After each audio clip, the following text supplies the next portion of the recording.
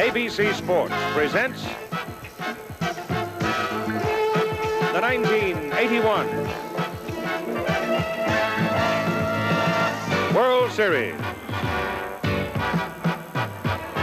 From Yankee Stadium in New York, the Dodgers and the Yankees. The Dodgers rode home one power in the West to sweep three games in Los Angeles and take a three game to two lead. Jerry Reuss growing stronger each inning in game five. Slammed the door on the Yankees two to one. The winning margin in game five. This home run by Steve Yeager. The Dodgers leading three games to two. They move into Yankee Stadium in New York tonight for game six.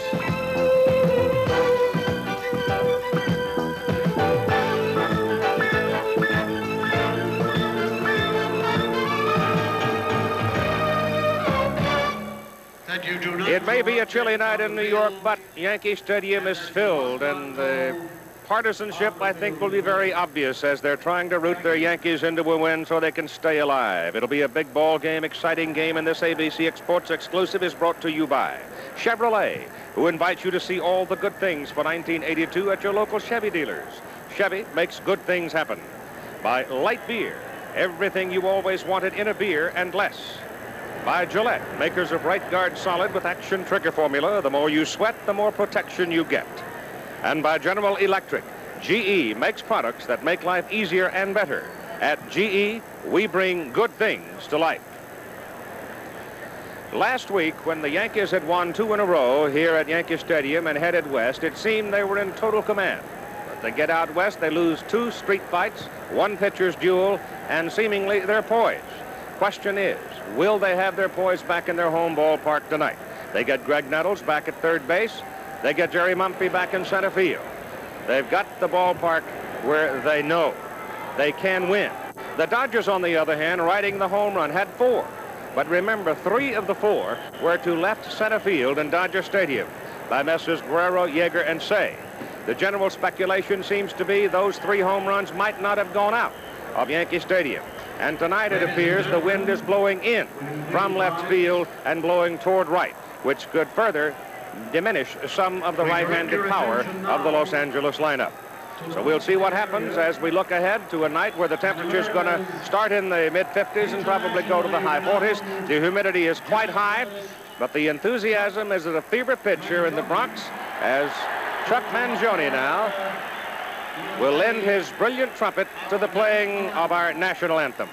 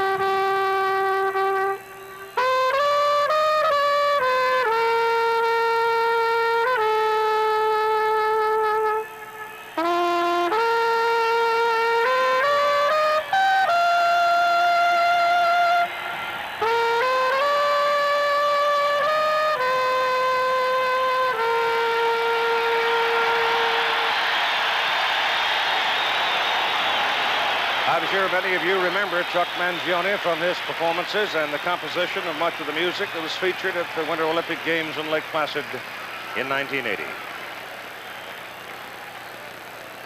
The umpires have had their conference with the respective representatives and managers of the two ball clubs.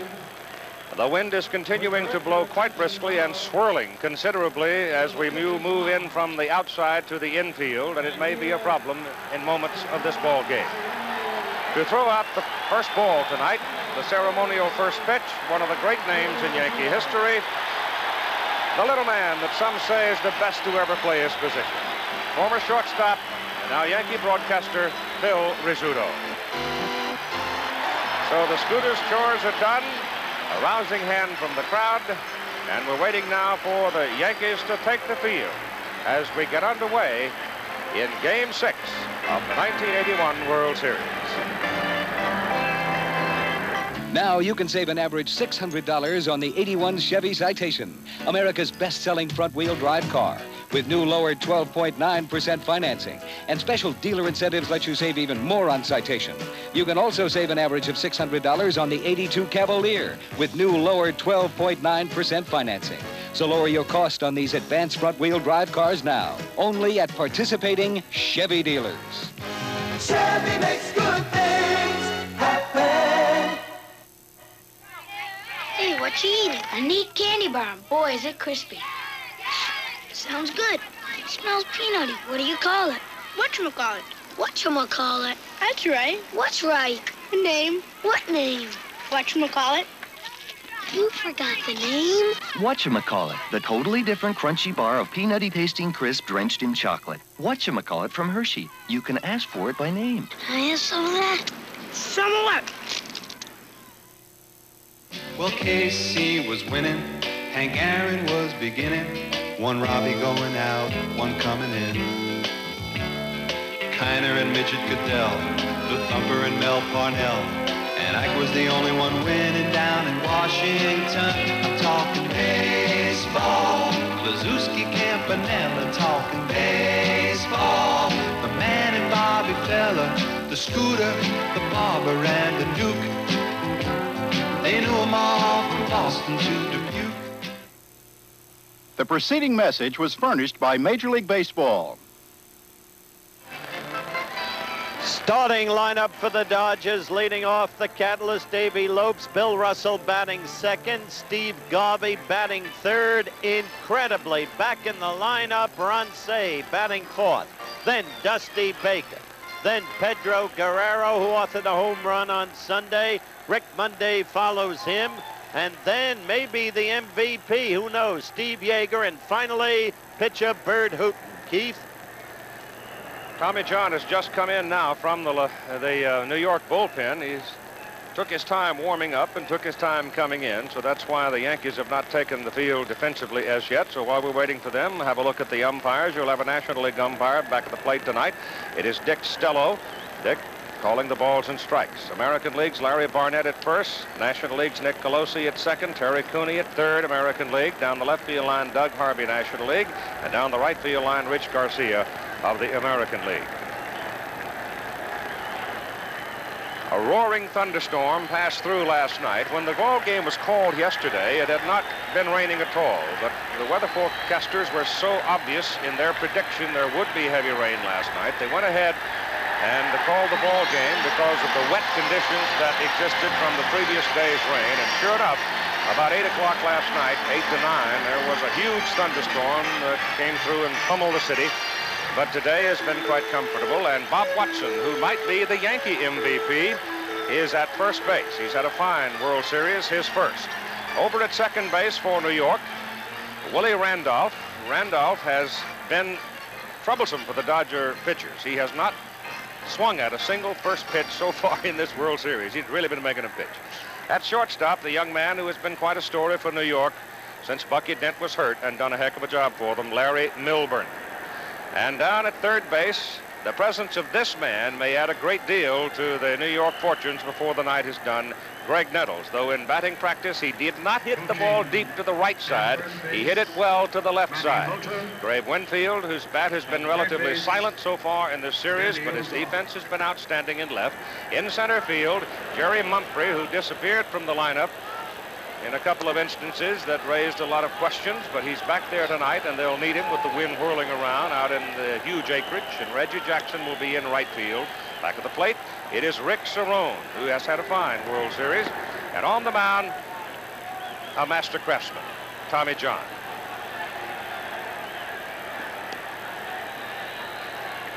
The reflection on Tommy on the season and in the ball game in which he opposed Burt Hooton.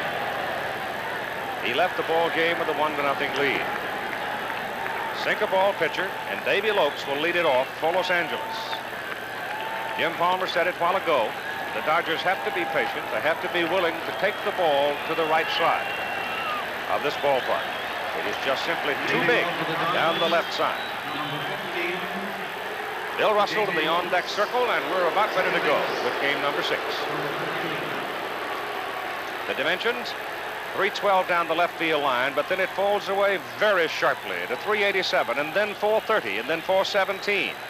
Then you get back into right center. It gets shorter and shorter until you reach the corner.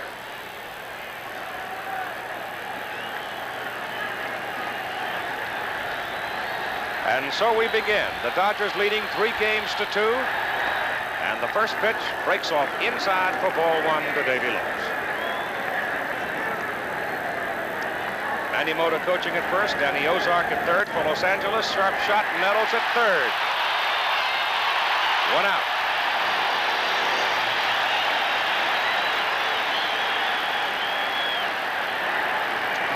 We'll see whether or not that is true because there is history to indicate it doesn't necessarily bounce. The home team has an edge. Bill Russell hitting 190 in the World Series, as you can see. There's a strike. First out was a ground ball to third.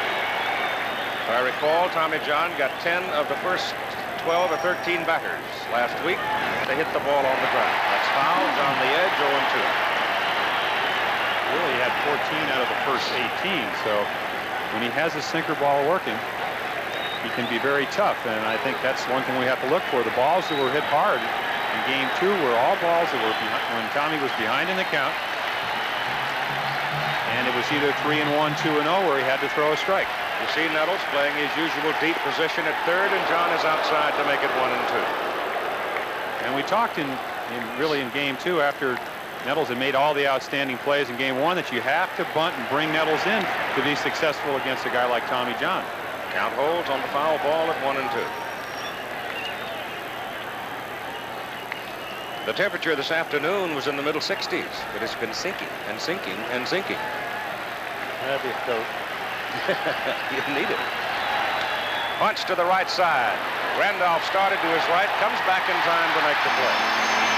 Two down. Two ground balls. And Howard, we're playing on a normal infield grass, and here you can see Tommy ahead in the count. Number six. Good low and away sinker. Russell goes with it, but it's too good a pitch, doesn't get much on it. Randolph breaking towards second, easily back and makes it the throw to Watson. Steve Garvey has been hitting well. His numbers reflected there. But he has not hit well with runners on base. Though in all fairness to Steve, there haven't been that many instances where he has had a chance to deliver with runners aboard. I think another thing very important tonight is with the tarp being all, all and then you, there you see manager Bob Lemon of the Yankees. With the tarp being on, a lot of times you have the moisture gather underneath the tarp. The infield will even be softer than it normally is here in Yankee Stadium tonight. That's beat foul down the third base line. To amplify on what I just said, Garvey is 8 for 12 with the bases empty, 1 for 8 with runners on.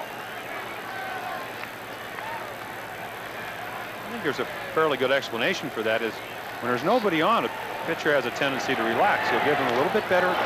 There's one up the middle for a base hit. He just stroked it. Exactly. And as I was saying, you get a little bit better pitch to hit, but when you get a couple guys on, you try to make the better pitch, and, and a lot of times the batter's anxious and will go after a bad pitch and end up making an out. And here you see a ball up in the strike zone, and Garvey, as we've seen all series, goes right up the middle with it. In game two, Tommy started. He retired the first 12 before Garvey broke the string in the fifth with a single. Now this is a very good pitcher for Ron Cey to return after the beating against. A control pitcher, not a flamethrower. Hit well to left. It's going to sink in front of Winfield for a base hit. And so Garvey and Cey go back-to-back -back with singles against Tommy John in the top of the first inning. And you saw Ron go up there with perfect confidence. Dusty Baker. Well, that he did, and he got a good pitch up again. You'll see it's up in the strike zone. A little bit away, but he not far enough, and he just wraps it to left field.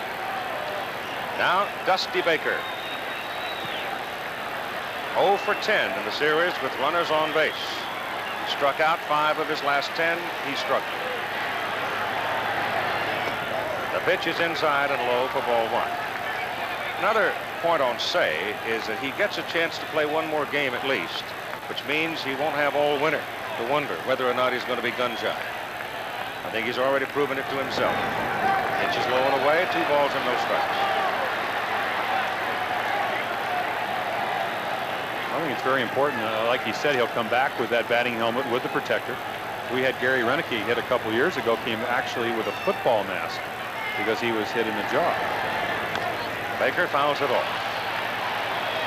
But all your good hitters, they come right back. And I've seen Brooks Robinson, when he used to play for the Orioles, hit many times in the head. Next day, they want to get back in the lineup as soon as they can because they want to ease the doubts in their own mind. Some do, but Ducky Wucky Medwick, the Hall of Famer, was never the same hitter again after he was beamed by Bob Bowman of the Dodgers. Baker hits it in the air to the right side. It hangs up there for Reggie Jackson. Wind moves it around. Reggie holds his ground and he makes the catch. And the Dodgers lead two in the top of the first inning. Coming up, Randolph Mumphrey Winfield for New York. You know, baseball's the same in Japan as it is in America. You play nine innings. Three strikes and you're out. And after the game, there's nothing like a beer. And when Numa's in town, I treat him to light beer from Miller because it tastes great. Yeah, I know it's less filling, but we drink it because it tastes great. Listen, Numa, it tastes great. See how clean down! All right, it's less filling. Light beer from Miller. Everything you always wanted in a beer. And Want to know four ways to help get better gas mileage? Tell us, Mr. Goodwrench. First, air up. Keeping tires at recommended pressure can help save up to a gallon of gas per tank. Next, tune up. That can help save up to two gallons. Wow! Then, clean up. Get new filters. And slow up. You can go farther on a tank full. Keep that great GM feeling. Nice and tankful, Mr. Goodwrench. With genuine GM parts. Starting lineup for the Yankees, leading off Willie Randolph. Back in the lineup, batting second, Jerry Mumphrey. Dave Winfield struggling, batting third. The big man, Reggie Jackson, batting fourth. The big man of the series for the Yanks, Bob Watson, fifth. Graig Nettles back in there, batting sixth. Rick Cerone batting seventh. Surprising Larry Milbourne batting eighth. And the ninth hitter, Tommy John. Defensively for Los Angeles, Steve Garvey will be at first base. Same infield you've seen all along with Davey Lopes up at second base. Jay Johnstone gave him some pine tar for his glove after his three errors. Bill Russell is at shortstop. And the miracle of the day, Ron Cey is at third. Had to wait until literally game time before we knew for sure he'd be there, but he's there. Dusty Baker is out in left field, very steady and dependable. Pedro Guerrero is in center field. Not a whole lot of experience there, particularly in this park. And Rick Monday with left-handed power is in right field. With Steve Yeager, as Howard indicated earlier, a chance to be the MVP after not playing very much. And on the mound, Burt Hooton. And third base, Joe Altobelli. Hooton was the bad luck loser in the second game. An unearned run scored. He left the game. It was 1-0 New York. Big question on Burt is whether or not the extra rest will have any particular impact. It might make him stronger and sharper, and on the other hand, it might not. We'll see. We'll know early, I think. As Willie Randolph comes to the plate, his only hits have been in game four, both to the opposite field. He's walked seven times, and I said, in 23 appearances, he has not taken a swing at the first pitch. Well, that batting average is very misleading because with the seven walks and he's been on, I think, on a couple of errors, out of maybe 22 times, he's almost on, been on base half the time. And as we've said all along in this series, for the Yankees to really be offensively successful, it really helps when Willie can get on base. In the game that Hooton pitched here in New York, a gust of wind comes whipping in, and Burt breaks his delivery motion and scuffles around on the mound to get a little bit of footing. But in that game, two, in which Hooton pitched against New York, Randolph was in the number eight position. Mumphrey was the leadoff man.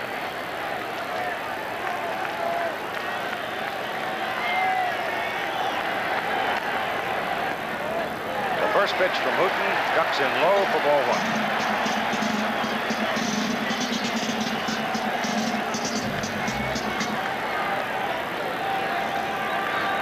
The flags are pretty much straight out and toward right and right center.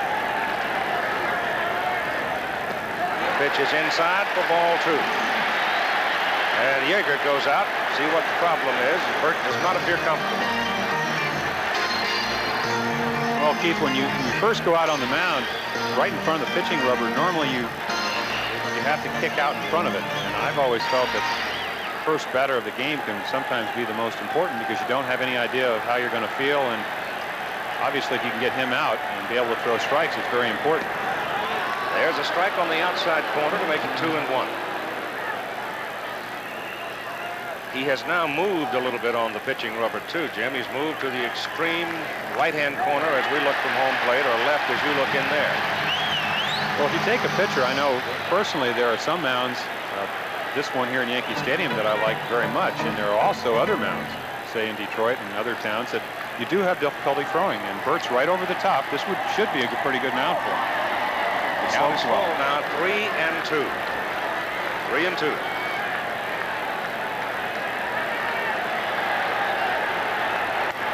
Walking.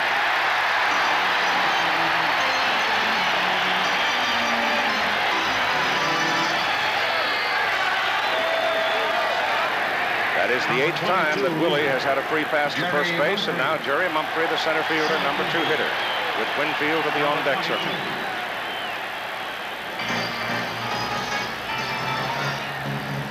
Saw six pitches, and really his most effective pitch, which is a knuckle curve, he has yet to throw. Of course, the reason for that is he, he got behind in the count, and three and two wanted to throw a strike and wasn't able to.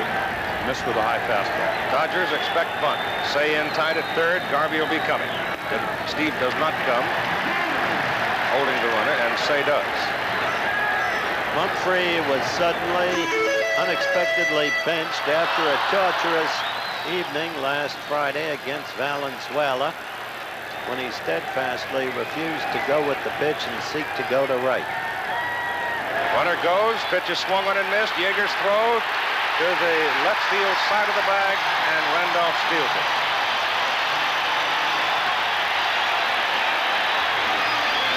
Now, Jim, the Yankees, with their backs to the wall, have determined to try to make things happen. So they had Randolph running. Well, that's right, Howard. And of course, Hooton has helped him out by walking Randolph and then getting behind Mumphrey. 1 0 count's a pretty good count to run on. You know that Hooton, a veteran, is going to try to throw a strike, which he did. Mumphrey protected Randolph very well, and Willie with a good slide. Yeager made a fairly good throw. It's just a little bit to the left, and Randolph is the best base runner. And the man at play right now is their second base, Randolph on the corner now. And a 1-1 count to Mumphrey. Fouls it away into the Dodger dugout. And they'd still like to get him as far as third. Where Winfield could deliver him with a ball to the outfield. There's Big David. Beleaguered. Not only because of his failure to hit in the series as well as he did in the regular season, but for other reasons as well. One and two. Big lead by Randolph at second. And the pitch is foul back. And we still have not seen the knuckle curveball, and I, I would assume the reason for it here is that Hooton would like to get Mumphrey to hit the ball to the left side, so the runner will not advance. And if you throw a curveball a left-handed hitter and he pulls the ball to first or second, you'll have the situation you talked about, Winfield up with a man on third. And in the first inning, they're usually going to play back and give you the run. Taps it foul. And there you saw the first knuckle curveball of the evening. When he is right, he has the ability to make that curveball. Normally, when you throw a right-handed curveball to a left-hander, it comes in towards him. But Hooton can make the ball either come in or go away. And that's one of the reasons he's been so, so successful over his career. He has a pitch that not too many pitchers throw. Comes back with the fastball inside to make it two balls and two strikes. Burt's fastball coming in on the Jugs gun at 88, and that's about his, his range. Well, that's what he was throwing last Wednesday here. So it doesn't seem to have the extra rest to make him any stronger. It seems to have affected his control so far. The pitch is low They'll make it a full count, three and two. So Burt's throwing a lot of pitches in the first two batters. The Dodgers had Garvey and Cey with successive singles. And two out. They stranded him. Ball is looped into short center field. Guerrero coming hard. Good speed, and Pedro makes the catch. And you've got one out, and Randolph has to stay at second base.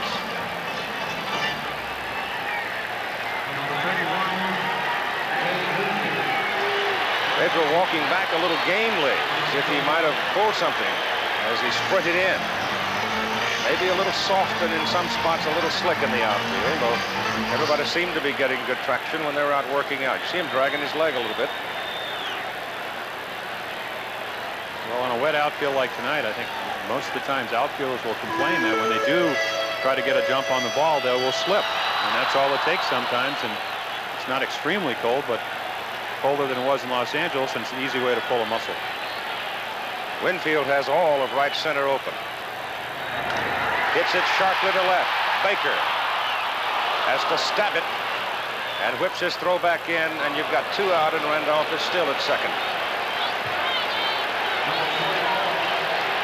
When you're in a slump, that's how it goes for you. Winfield hit that ball a shot. And Dusty Baker, you see making a nice catch. What happens on line drive sometimes, they are what they call knuckleballs. Just like uh, if you ever watch a knuckleball pitcher being caught by a catcher, you sometimes see the extreme difficulty. The ball will get out to the left fielder and start knuckling. And Baker made a nice catch. It didn't seem to be that, that tough a play, but as it turned out, tough ball to handle. Reggie Jackson is at the plate now. Randolph at second and two out. Except for the home run off Steve Howe. Everything Reggie has hit pretty much has been up the middle or the left center. And Hooton is high and tight and Dexy.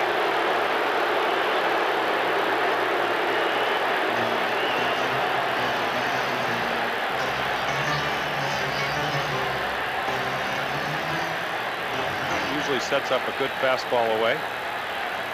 But Reggie usually responds to hitting the dirt with a hit. Well, that he does. That that ball was not as close as it may seem. Reggie, of course, is kind of diving towards the plate. Wants to be able to reach the pitch on the outside corner. Got it outside. Reggie swinging and missing for one and one.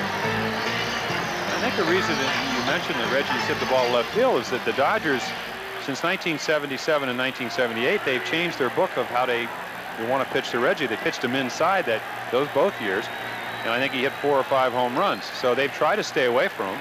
They'll give him the double or the single to left, but not the home run. Burt is outside, two and one. The center fielder Guerrero is way over in right center. I mean, way over.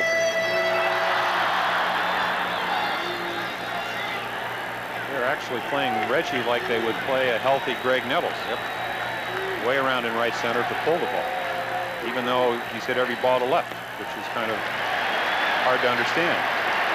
Is outside again. Three balls and one strike.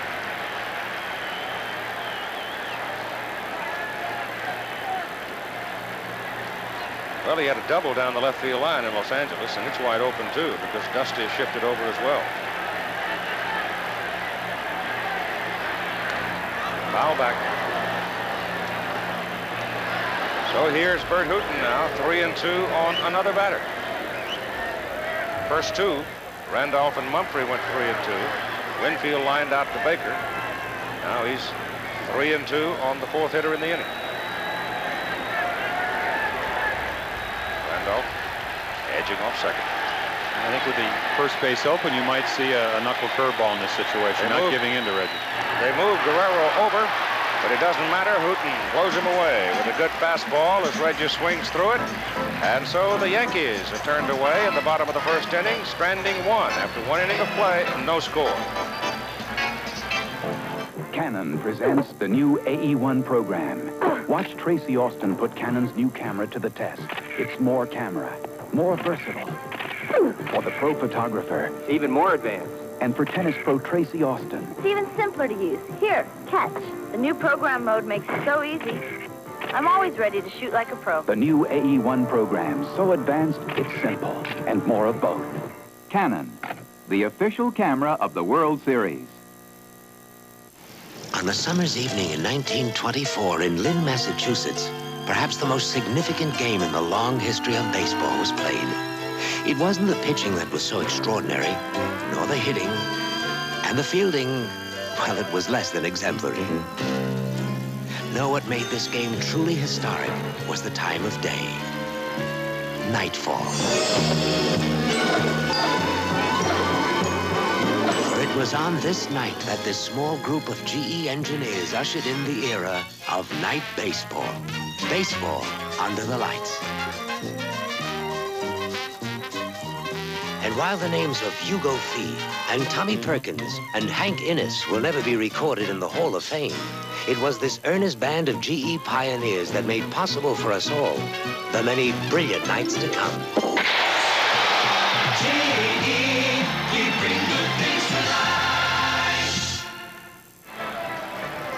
No score as we go to the top of the second inning for Pedro Guerrero, Rick Monday, and Steve Yeager. Tommy John pitching for New York. And he gave up successive singles with two out to Garvey and Cey at the top of the first inning. Then Baker lofted a fly ball to right field and Reggie Jackson. Keith, both clubs had first inning opportunities. The Dodgers got theirs on consecutive Garvey Cey singles with two out, Baker flied to right.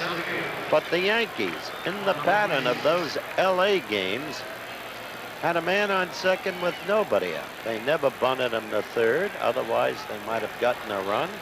And once again, they blew a wide open opportunity. That's been their history in this series. There's Bird Hoop.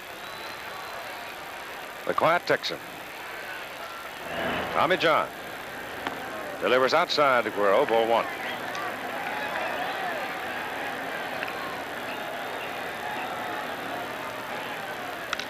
Ball is hit to right. Jackson goes back. Got room. One out. Wind's going that way. So the ball hit to the right side is going to get some help tonight.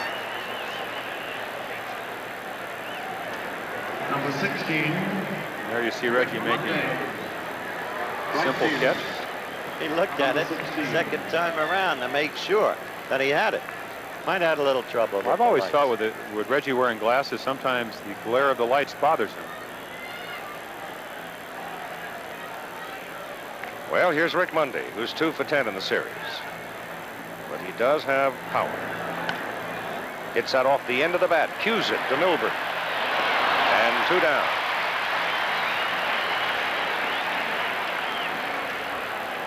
The young man with the devastating left hook, particularly to the liver area, Jerry Truman. Setting up potentially a fight against Joe Bugner, which sounds kind of ludicrous on the surface, but it may happen. But sooner or later, the showdown. Truly against Bugner? Owens. What? Joe Buckner? Joe Bugner, yeah. I thought you were going to ask what he has in common with George Steinbrenner, a good left. Oh, George doesn't have that kind of left. Steve Yeager, he hit a home run to right field at Yankee Stadium. This time he pulls it to the shortstop Milbourne. Larry throws on the bounce and gets away from Watson. And Yeager's aboard. Error shortstop. Fairly simple play. We saw Milbourne in the series in Los Angeles. Throws coming up just a little bit short. There's another one, and Watson can't handle it for the error. The Dodger pitcher, Burt Hooton. Wrapping his bat in pine tar. I watched batting practice throw up here tonight because I, there were two or three people I really wanted to see. You see the the Dodger catcher, Steve Yeager, hustling on down the line. Steve has pretty good speed. You can see the ball was there in plenty of time for the out, but bounced away. But Burt hit the ball well in batting practice. This time he just squibs it back to Tommy John. Well, there you go. So the Dodgers have now stranded a total of three base runners in the ball game. After an inning and a half, there is no score. Marcus, I see Whisker. Give it the pivot. Give it the pivot, give it the pivot. Atra. Next time, Jose, give it the pivot. Atra. The Gillette Atra razor pivots to continually adjust and hug every curve, contour, and angle. No other razor shaves closer and more comfortably than Atra. I give it the pivot. Give it the pivot. Atra. Give it the pivot with Gillette Atra. Ah, new car. Chevy Chevette. Must have cost a fortune for the fancy wheels and white striped tires. Standard, father. Radio. Reclining seats. On your salary. Standard, father. Along with front disc brakes and radial tires. And these fancy stripes? $89 extra. And why would you spend $89 on stripes? The devil made me do it. Oh. Chevy makes good things. The devil, you say? How's the cold tonight? Oh, don't ask. I got you some cough medicine. But I'm also sniffling, sneezing, aching. My head is stuffy. I'm feverish, and I gotta rest. I was supposed to get a sniffling, sneezing, coughing, aching, stuffy head fever so you could rest medicine? That's NyQuil. It relieves the cough as well as this, plus all my other symptoms. NyQuil. Would you get me some? Be right back. NyQuil, the nighttime sniffling, sneezing, coughing, aching, stuffy head fever so you can rest medicine. Saturday, Maggie's got a full house and an empty kitchen. There's nothing to eat. Well, you can have some prunes. Prunes make me despondent. Maggie! Well, that's the George Washington Bridge, all lit up and splendiferous. Uh, 50th anniversary of the GW last week. And just down the road a ways, Yankee Stadium. Number 28, Bob Watson. ABC Sunday night movies of the month of November. There's some good ones, aren't there? Goodbye Girl, Grease, Close Encounters of the Third Kind, and Moonraker. For your pleasure, right here on ABC. Bob Watson, 412. He has not struck out so far in this World Series. And Burt Hooton is outside for the first pitch for ball one.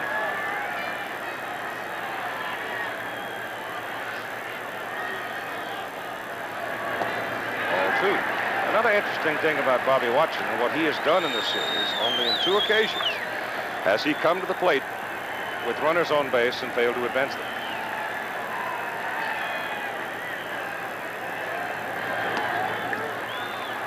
Bit the outside, two and one. Watson thinks the ball was outside. What they've done with Bob the last couple games is they've gotten ahead and then they've gotten him out inside. Uh, really, the first into the first three games. Fouled away. saw a breaking ball, and he hurt them with balls out over the plate when they got behind in the count. He was two for four in the game two. One single off Hooton. The count is now two and two.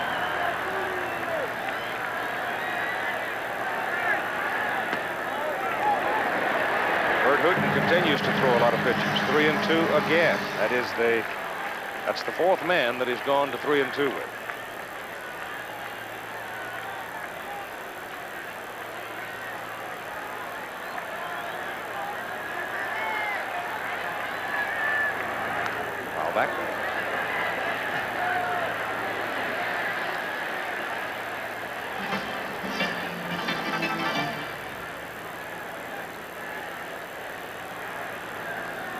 2 pitch, no score. Bottom of the second.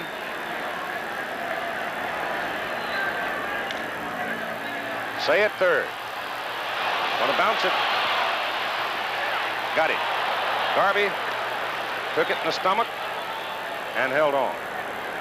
Goodness knows how many errors Steve Garvey saves at first base during the course of the season. Tough play for Ronnie. A long throw. Look where he is, all the way back behind the coaching box practically. First base umpire Larry Barnett waited a while before he made the call to make sure that Garvey had it. Here's Graig Nettles. Can't measure the importance of this man to the Yankees. When he got hepatitis last year, the Yanks weren't the same team. They haven't won a World Series game since he was out. First pitch. Hits it sharply to Davey Lopes. And so Davey survives the test in the early going. He handles the first ground ball rather cleanly. You notice that Graig did not hit to the right side in batting practice, Jim, which can only mean he's favoring his thumb, and he didn't get around good on that one. Well, it was a breaking ball, and uh, you could see after he hit the ball that his hand was almost off the bat. This is something uh, he has said that Charlie Lau, the batting instructor, is trying to get him to do, but that's not his normal batting swing. Rick Cerone is in there. And Rick had stepped away and time, I thought time was called, but I guess not. Ball one. There's a strike. One and one. Dorothy Hamill.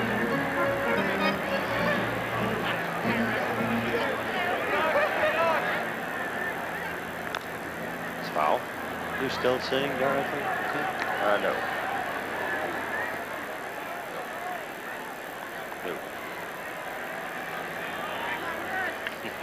Jerry Reuss, who pitched an absolutely brilliant game on Sunday. Why did you say no three times? For emphasis. Ground ball. Shortstop Bill Russell. In the dirt again, Steve Garvey comes in it cleanly. So, Yankees go in order. People trust Seiko technology for bold sports watches that perform brilliantly, even 100 meters beneath the sea. People trust Seiko for slim dress watches with every timekeeping function you'll probably ever need. People trust Seiko for watches that are as finely crafted as they are technologically advanced. In fact, people trust Seiko more than any other watch. At your authorized dealer. I do one thing. I kick this ball through those two poles. Do one thing all the time to get to be great. Like Kentucky Fried Chicken. They don't try to do everything. Just chicken, and no one else does it tender and juicy the Colonel's way. Kentucky Fried Chicken, we do it right for you. I do kicking right. They do chicken right. Kentucky Fried Chicken, we do chicken right. Like many married couples, Tom and Mary Ross both worked to pay their mortgage. Allstate update, mortgage protection. Only Tom's life was insured, so when Mary died, Tom couldn't pay the mortgage alone and had to sell their home. If you're a working couple, it could happen to you too. So Allstate Life offers joint mortgage protection. One policy that covers both breadwinners for less than two policies cost. Allstate's joint mortgage protection life insurance. For life, home, or auto, you're in good hands with Allstate. When you're in a circumstance like this with so much at stake, the intangibles make a lot of difference. Before the game, Bob, you could talk to Reggie. Was the emotion the same, Reggie, in that mini series against Milwaukee when the Yankees had to win that final game? Could you compare it to this or not? I say it's about the same. I would say that we may be a little bit looser tonight so far up to this point, but Bobby, I think that the one thing that I worry about is that this ball club's come back so often, so many times. It's always won the big game or the game it had to win. And every once in a while you think you may catch a bad break or a bad bounce, a bad call, or something may go the other way in an either-or situation. And you just may run out one day, but uh, if we get a few breaks tonight, I know the ball club's ready to play. Reggie was a bit winded when that interview was made. He had just come out of the batting cage. The game is being held up for just a moment. We have had a power hit that affected uh, some of the lights here in the stadium and as well as some of the operation in our television trucks as well. So there are several lights that are right now dark around the perimeter of the stadium, and they're waiting to get them back on.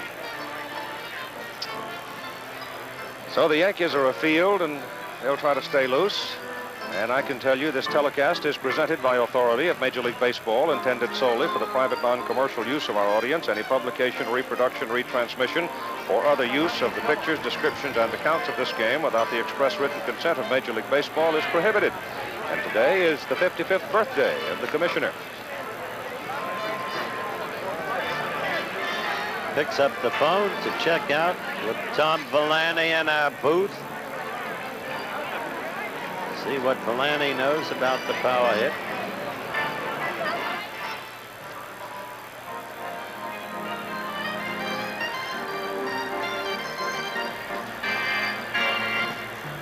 They'll probably blame Bowie for this. Why not?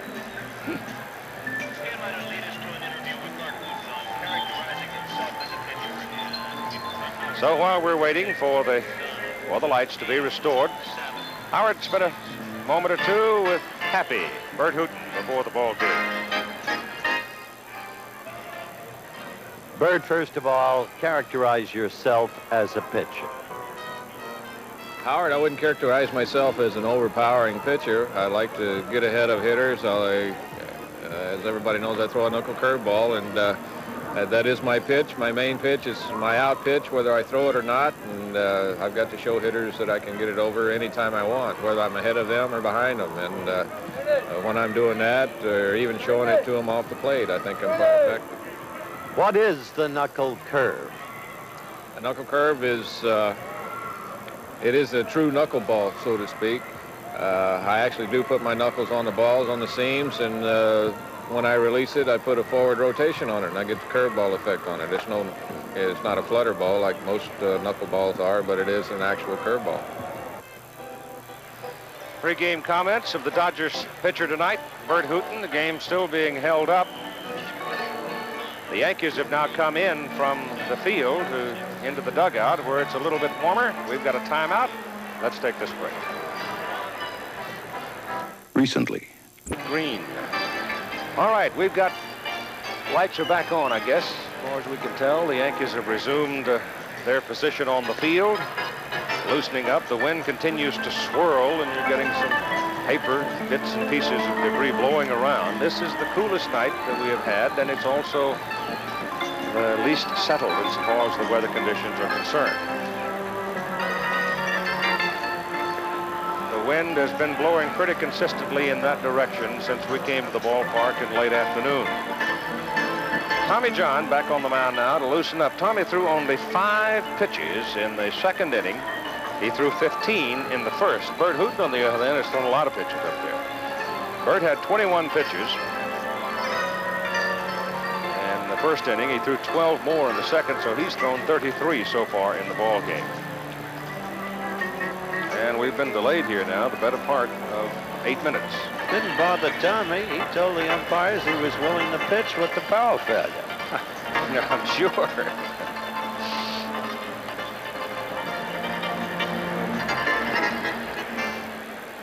He is indeed a craftsman at his trade, isn't he? That he is. I still don't think he's in a, as good a groove as he can be in. While it seemed that Clute in the last inning came along and threw his knuckle curveball when he was behind in the count. He made some good pitches, seems to be settling down. Second time around for the Dodgers now. Top of the order, Davey Lopes, Bill Russell, and Steve Garvey. And we thank you. Steve Yeager, with whom we spoke in the pregame show. Terribly interesting fellow. Wearing a beard, as you can see. He did not shave when the series started, and therefore, with the Dodgers now ahead three games to two, he steadfastly refuses to remove the beard until and unless the Dodgers lose, which he hopes will be never. That will be one of the great sports stories of this year. In fact, Yeager should wind up the MVP in this World Series. My goodness. Well, he attributes his success. He's played more in the last week as far as being a regular player than he did all year, and he feels that has a lot of reason for him being so successful. Lopes lays it down to foul. He didn't get it down the left side, where Nettles had shortened up a little on him, took it down the right side, and he just dribbled foul. Davey had in game three leadoff double, which ignited that three-run outburst for them.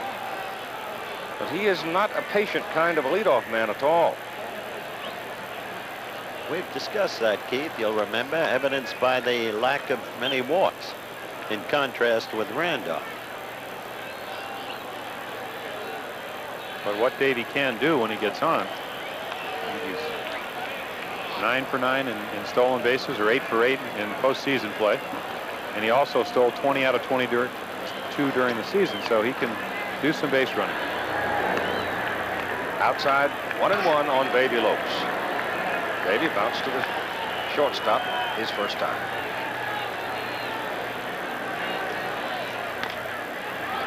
Nettles going to cut it off.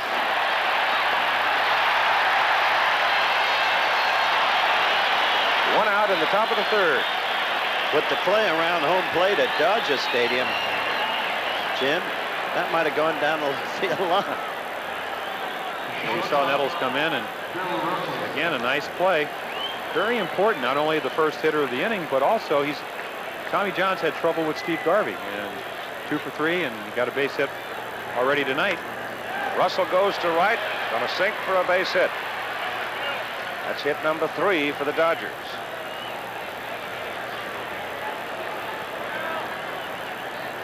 So Billy's aboard, and here's Garvey.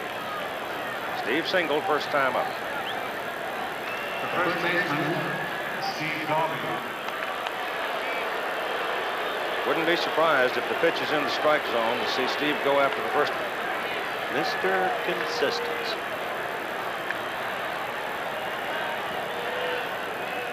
Tommy does like to get a strike on the first pitch.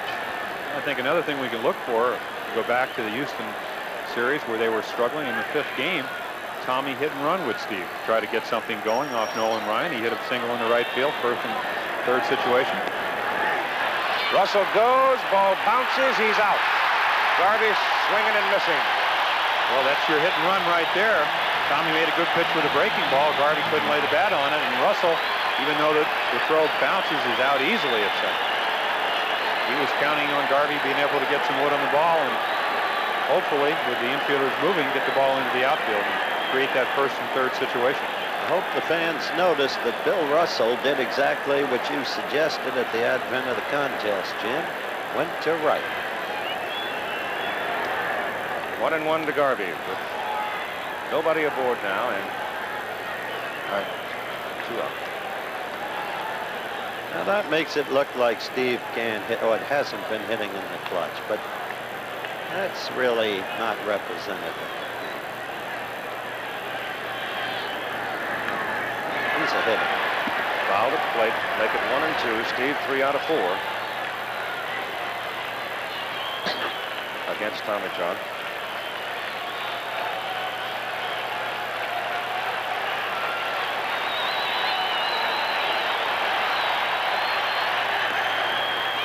Two and two.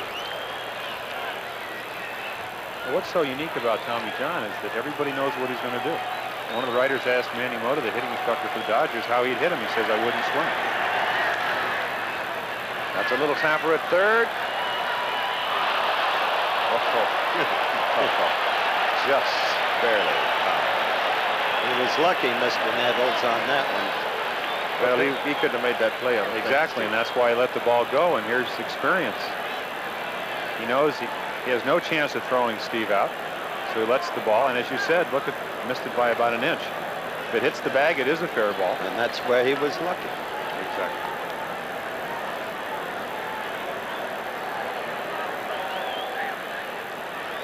Ron Cey in the on-deck circle for Los Angeles with two out, nobody on. He Russell had singled and was thrown out. He talked to me at length today, Ron, over at the hotel where the Dodgers are staying, about how Goose Gossage came over to see him in the clubhouse after the game, and how Mrs. Gossage ran over to Mrs. Cey immediately the accident happened. 2-2 pitch. Garvey hits it in the air to center field for Mumphrey. And there you have it.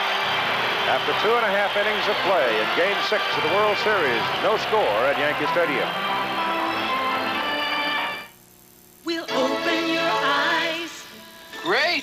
Sure, what kind of... RCA ColorTrak. Thought they only made the big ones. Guess you thought wrong. I have an RCA. Really? Big projection TV. Let RCA open your eyes. Really?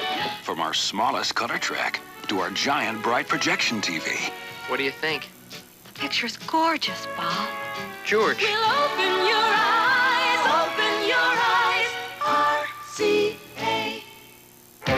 away everything you ever heard about pickups and meet the revolutionary new size Chevy S10. There's never been a truck like it before. Chevy S10. 28 miles per gallon. 39 highway. The standard four-cylinder engine has higher EPA gas mileage ratings than any of the best-selling imports. Chevy S10. It offers optional V6 power. Power to tow twice as much as any import pickup. The new size Chevy S10. Order yours today. There's never been a truck like it before. Never! Chevy is the power in trucks. Now there's a place where they have their own authorized mechanics, quality parts and service, and prices you can afford. Now there's K-Care, found only at Kmart. Why not change to the tire you don't have to change? The KM Special Radial with two fiberglass belts and aggressive tread design. Goes through rain, mud, and snow, yet rides smooth on highways. Now the KM Special is sale priced as low as $31.97. Hey, we'll even rotate them every 5,000 miles at no charge. That's K-Care, only at Kmart.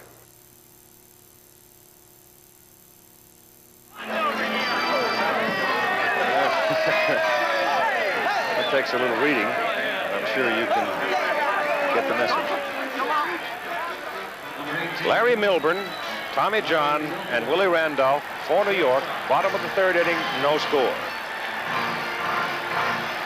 Burt Hooton has thrown 33 pitches so far in two innings.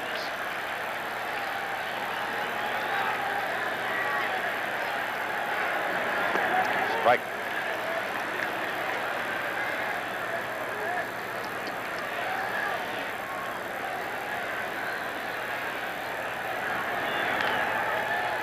To Garvey. He'll do it himself. One out.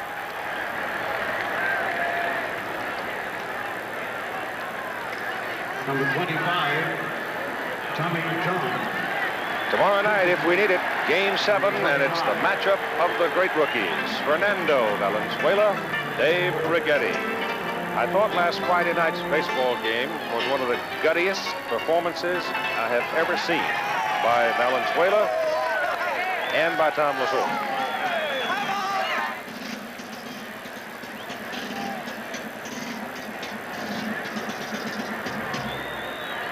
Here's TJ. You realize Yankee pitchers or the pinch hitters have come up with 20 runners on and produced no hits? What did you say, Jim? They're 0 for 35 or something like that? There's Fernando, who will get the call tomorrow night. Fernando in his hideaway. Otherwise, his next start will probably be opening day next year. That's right. One and one, uh, two strikes. Hooton has settled down. I think something we'll have to watch for is in the seventh inning of, of the Wednesday game, he walked three batters, usually an indication of getting a little bit tired. He's not known for completing games, so even if he does pitch well, we will probably see the Dodger bullpen at some point tonight. Which I think has been buoyed some by the presence of Forster. Terry has pitched well on the occasions he's been asked to do so.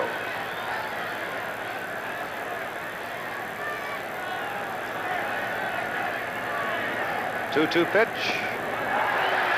Just low. So that's what, five times he's gone to 3-2 on a New York batter. It's not something you want to do as a pitcher because you just have to move the ball in the middle of the plate a little bit more, and when you do that, you give up more hits. That's fouled away by Tommy.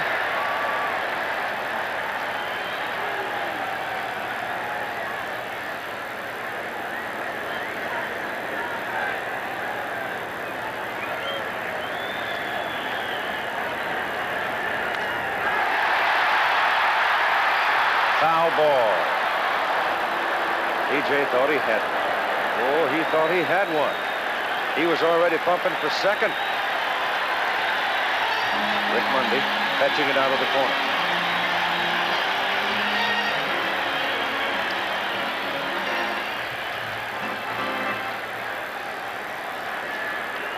Well, it's been three years since he's had the opportunity to win a, his own game. I guess, you know, that was one of the big thrills of pitching. Well, he hit it pretty well to right center field. But Guerrero had him played perfectly. The wind carries it a little bit toward right. Pedro makes the catch. Two down.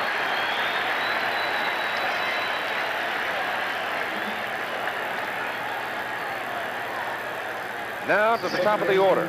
And the second time around for the Yankees, Willie Randolph. Walked his first time, stole second. Therein lies part of the tale of the game so far. Yankees didn't get him to third, where Winfield could have produced it. Pitch is high and away, ball one.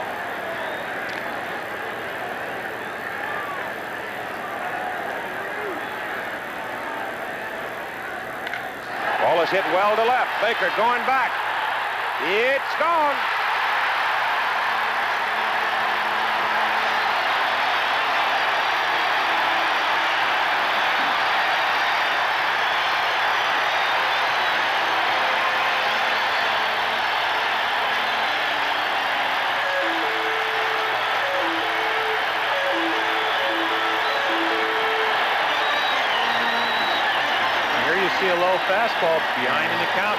Throw a strike. Really a good fastball hitter. Jumps on it.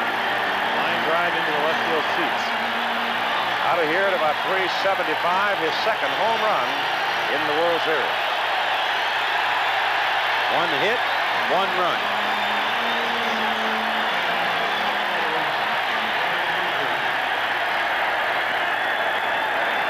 Pitch to Mumphrey, low ball one. Standing on the mound saying, why couldn't you just been a line drive or a base hit to left instead of going out of the ballpark? Fair ball on the chalk. Caroms off the wall. Monday pursues it, and Mumphrey holds it first with a single. Took a perfect bounce and roll for Monday.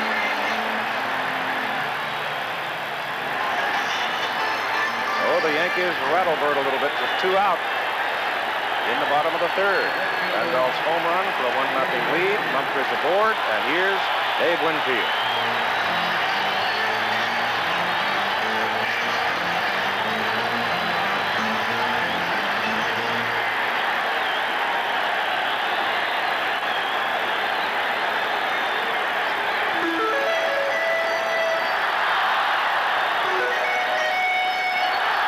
When this big guy comes to the plate, you've got to think sooner or later the law of averages, or whatever it is, sooner or later. Hager bluffs the throw. Mumphrey back on his hands and knees at first base. Ball one. I'll be interested to see if they run Mumphrey. They ran Randolph in the first inning, indicating a change of strategy, an aggressiveness they didn't have in Los Angeles. We may see it again here. Pitches inside. Mumphrey made no move. Two balls and no strikes. Joe Altobelli comes out of the third base coaching box, comes up the line. Winfield turns and has a good look.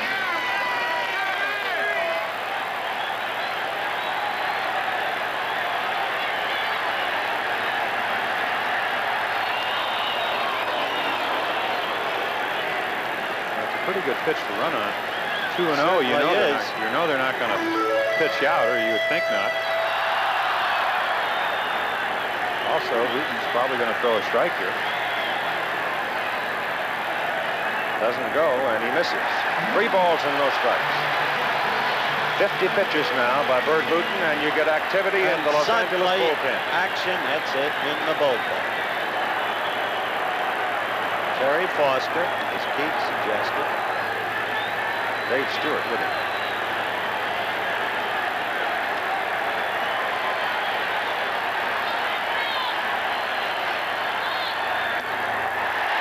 Ball four.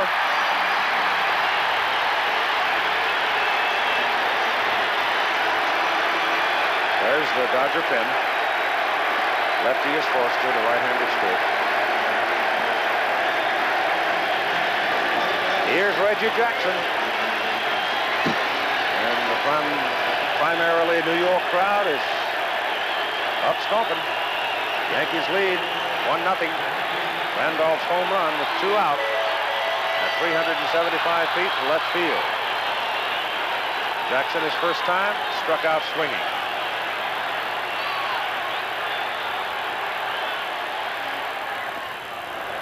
Checks on it. Ball one. And you can see Hooton wanting that pitch.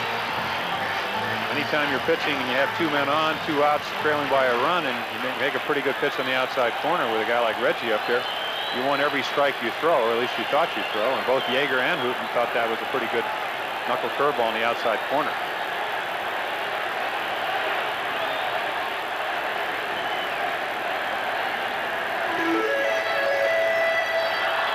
First time up, they struck out Reggie with a high fastball, but he may not chase that pitch behind in the count. Fouled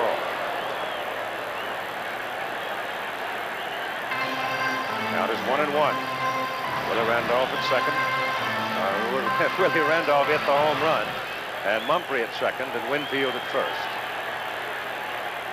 And Mumphrey edging down the line. Russell behind him, sort of peeking over his shoulder. Trying to read the pitch. And Reggie hits it in the air to the left side for Baker. Plenty of room for Dusty, and he makes the catch. So the Yankees get a run Randolph's home run and lead after three, one to nothing. Yes, sir. I'd like to have this 35 millimeter film developed. Well, you're in the right place. Well, just a minute. Do you use Kodak paper? Sure. Look on the back of this photo. See, this paper manufactured by Kodak. We use Kodak paper because we believe in quality. Yes, but how can I be sure to get it every time?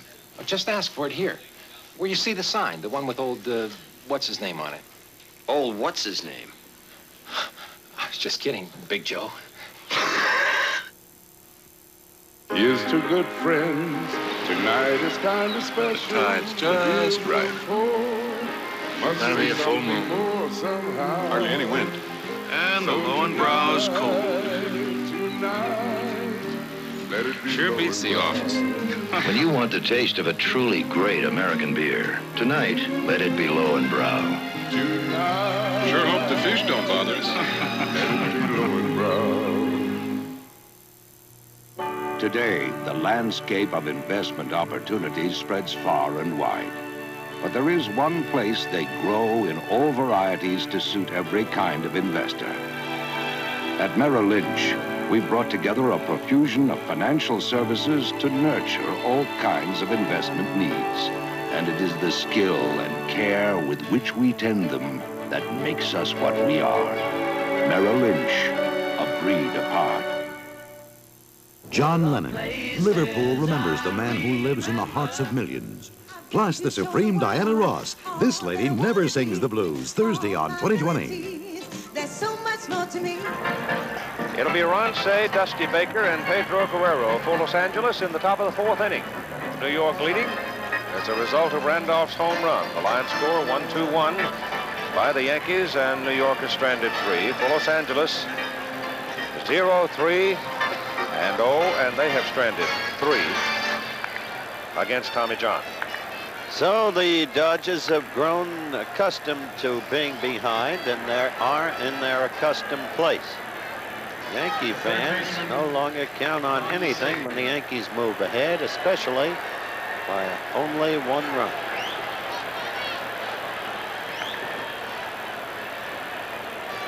Ron Cey, who had a single, his first time up tonight, thereby completing his miracle. A frisbee sailing onto the field and carry it off. It's always a relief when they only throw frisbees. Yes, sir. Indeed. Worth noting, I think, that Ron Cey is wearing a cap with a flap.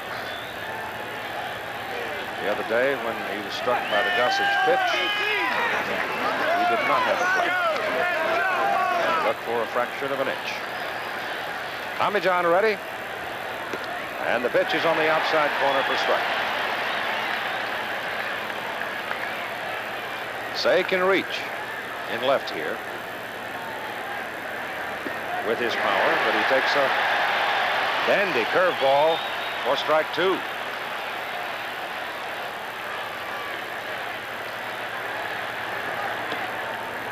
One and two.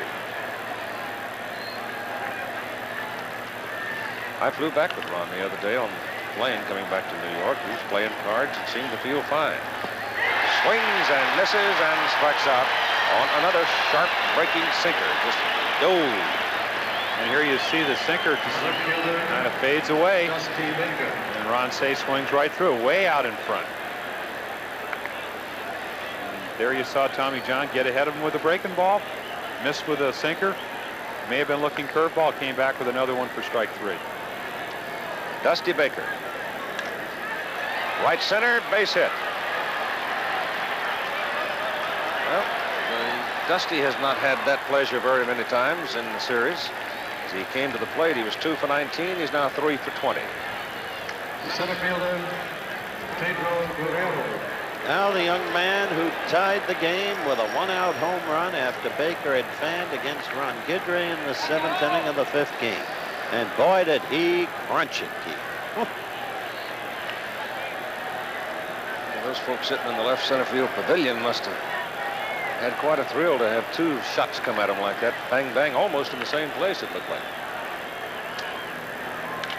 Hit well to left. And Winfield, right place. And you've got two out.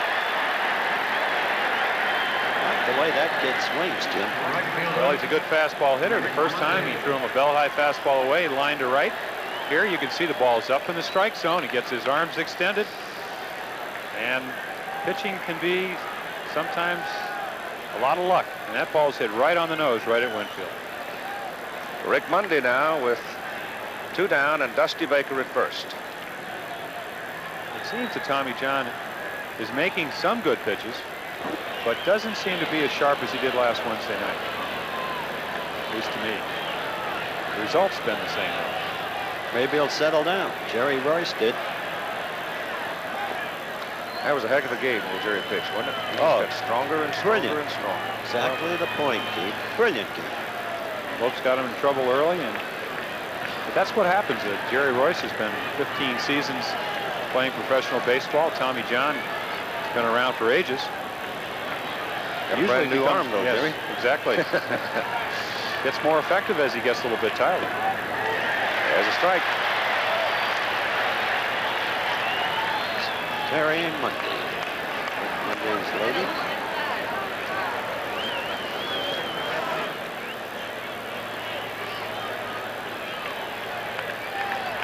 Rick didn't play last Wednesday. They played Kenny Landreaux. Tommy got him for a big strikeout. So you see Tommy Lasorda going with a more veteran player. Rick hangs in there well against left-handers. You just have to make good pitches to get him out.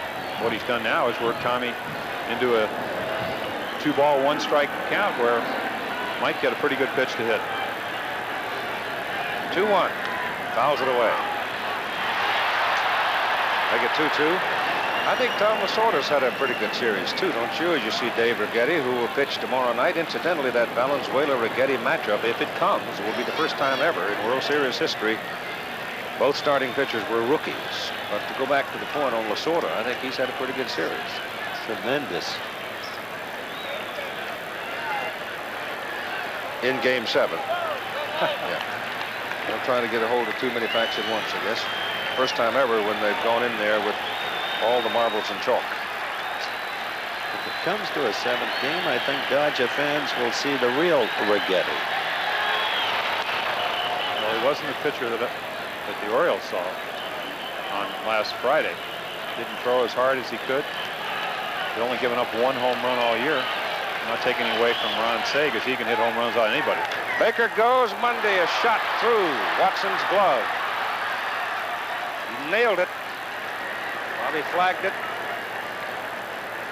I would think that would be a base hit. And I'm not scoring it. No, we got three fellows scoring it, and it is a base hit. Baker goes to second. Monday at first for Steve Yeager. So once again, Yeager in a big situation. Is he a man of destiny?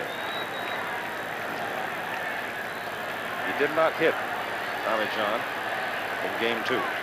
No, but he did hit that scorching liner up through the middle that Tommy knocked down and made a fine play or, or the game would have been tied one to one after the end of seven innings. Low. Hooton on deck. One would think here they would pitch rather carefully to Yeager with the pitcher Hooton on deck and not be terribly concerned if they should walk Steve. There are your base runners. Yeah, I think the only thing they would be concerned with is that the tying run now is at second, and the minute you walk them, as we said, Hooton swings the bat pretty well. You do put the, the go-ahead run at, at second base, even though it is early in the game. They pitch to him. He hits it into left field for a base hit, and here comes Baker. The game is tied. So he does it again. Remarkable.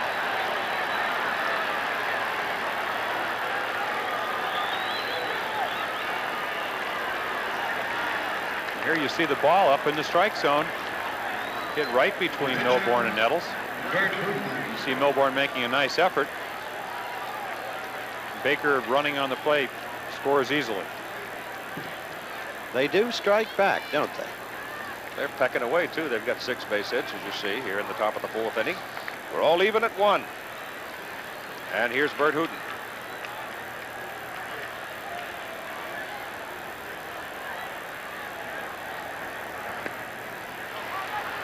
Strike. Frazier's now in the New York bullpen. Young man who pitched well. It's what I saw of it in the game in Los Angeles the other day. Foul. Strike two. Two out. That he did, Keith. He pitched well both Friday night and Saturday night. The He had no- Astro Clay infield got him on Friday night, and the combination of of maybe the wrong center fielder. Bobby Brown went in for defense, had trouble with a fly ball. As it turned out, he ended up losing both Friday and Saturday, even though he pitched well. Two strikes to Hooton, two on and two out, and it's outside. A 1-1 ball game.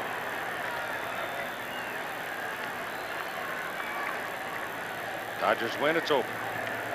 Yankees must win to force game seven. And there you see again, Tommy John is not being able to get the ball down in the strike zone. In this inning, the ball that Monday hit, even though it might have been played by a better fielder than Bob Watson, was on the inside part of the plate where he normally doesn't throw it. The ball to Yeager for the single left was up in the strike zone. And there is a good sinker for strike three. So he strikes out Burt Hooton. The Dodgers strand two more, but they get a run on Yeager's single, and the game is even at 1-1. New Backwoods Smokes just hit town. Looking wild, but tasting mild. New backwoods smokes. How can anything that looks so wild taste so mild? New backwoods smokes. How can anything that looks so wild taste so mild? New Backwoods Smokes, all natural tobacco, hand-rolled look in a keep 'em fresh pocket pouch. How can anything that looks so wild taste so mild? As an intelligent consumer, I wanted to compare Atari asteroids with other companies' asteroids. But other companies don't make asteroids. I wanted to compare Atari Missile Command with other companies' Missile Command. But other companies don't make that either. Finally, I wanted to compare the new Atari Warlords. Unfortunately, other companies don't make it. When it comes to the video games the world wants most, nobody compares to Atari. Good service isn't giving people what they expect. No, it's giving them more than they expect. Avis knows that. So when you make a reservation, Avis makes a commitment, and they honor it. Uh, Morgan? See, even if you're six hours late. Now, you might be willing to pay a little more for this service, but at Avis, you don't have to. Trying harder is still the best way to do business. Bottom of the fourth inning we go now for New York's Bob Watson, Graig Nettles, and Rick Cerone as the Dodgers get a run to tie in the top of this inning. And Burt Hooton. He had two men, Dave Stewart and Terry Forster, throwing back of him in the top. actually the bottom of the third and the, a portion of the top of the fourth, but they have both now sit down and put on their jackets in the bullpen. Frazier is back sitting down in the Yankee bullpen. Burt got Bob Watson to bounce the third baseman Cey his first time.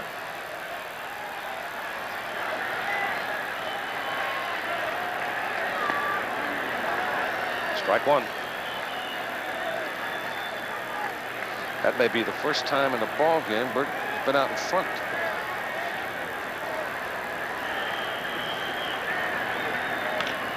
To the shortstop, Russell. One out.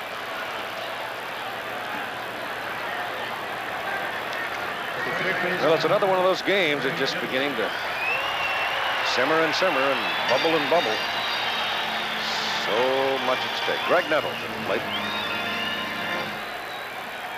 Thing to watch here is whether or not he can keep his top hand on the bat. The sore hand. The left one. Foul back. And there you saw Sutton, excuse me, Hooton go right in on his fist in last Wednesday's game. He moved the ball around, and, and this is when, of course, Graig's hand was healthy. Ended up striking him out inside. I thought you could see that Nettles winced. Foul back out of play. Again, there you saw him take his hand off the bat. Face showed a little pain on the earliest swing. Well, I was told that his hand is broken. He has a hairline fracture on the inside of his thumb, and and you can see there the, the hand not on the bat. And it doesn't seem to me that Nettles is going to be the home run threat that he normally is.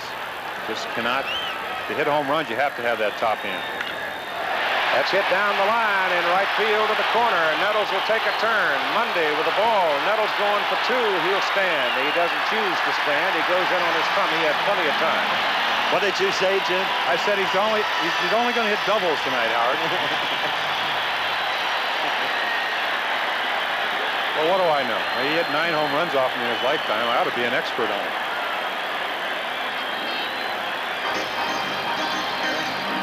Inside pitch, but again, you can see a bit of a teeth grinding experience.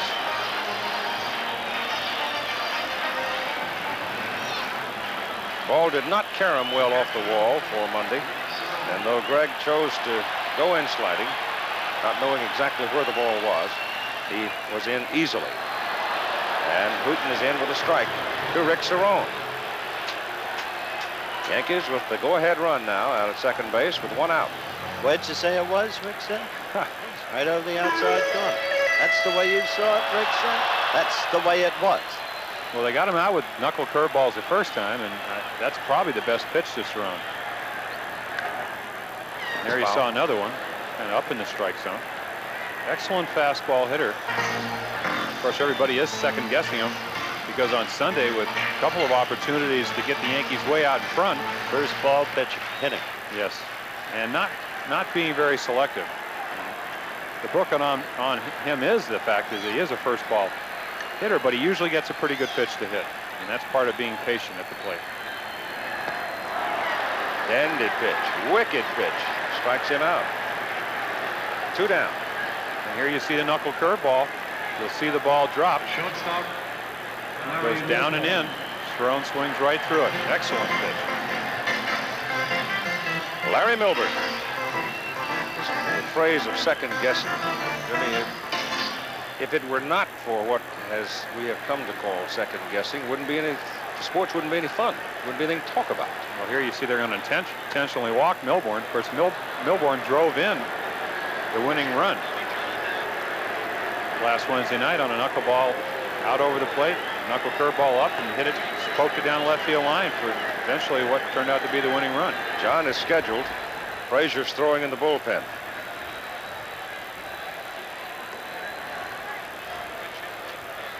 TJ took off his uh, batting helmet. Lemon is asking Tommy John how he feels. Lemon is not disposed to take out one of his aces this early. He's also sensitive to earlier criticism, criticism that he's gone too long with his pitching. And there you That's saw it. Tommy wave. I think he's through for the night. Yep. He talked with Clyde King. John does not look terribly pleased about it. No, he doesn't understand it. He doesn't agree with it.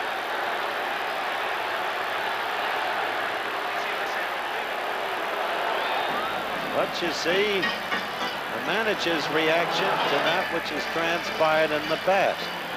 Now, if Lemon's going to put up a pinch hitter, it'll, it is Bobby Murcer.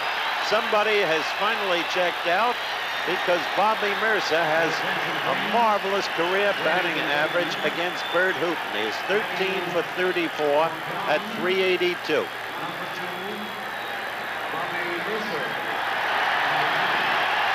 Things get a little sticky when you've got an ornery owner and you've been criticized in the three prior games.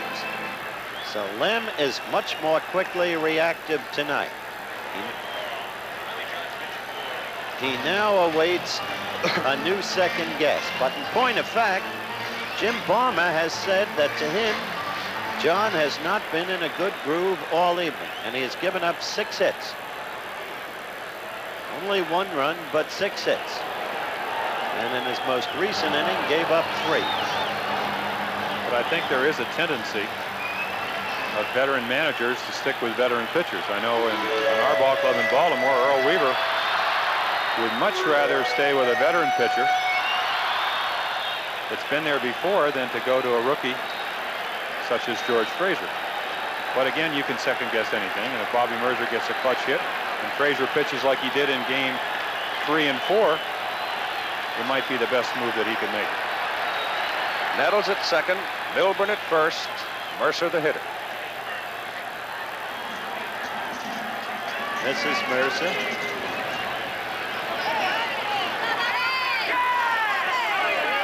Oklahoma Bobby is up there.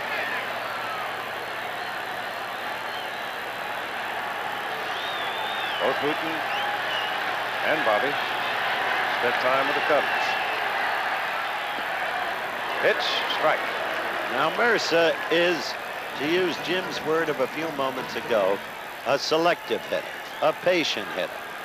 He waits for his pitch on average.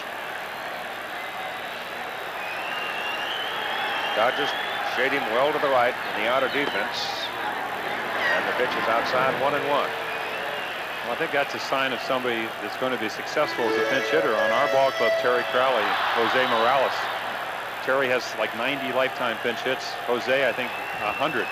They go up there and look for a pitch that they think that they can hit. It's what you call self-confidence. Ball is hit well to right. Monday has room. Makes the catch. So Bobby Murcer hits a fly ball to right field with two out to end the inning. Yankees strand two more. That's a total of five. And you'll get a new pitcher for New York, George Frazier, coming on in relief of Tommy John. Lopes, Russell, and Garvey will face him.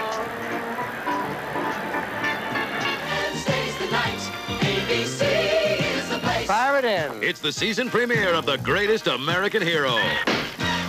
You guys ever had a dream? Baseball's got a new legend and a super fastball that could bring the World Series home. Then, in a special two-hour premiere. Who are you?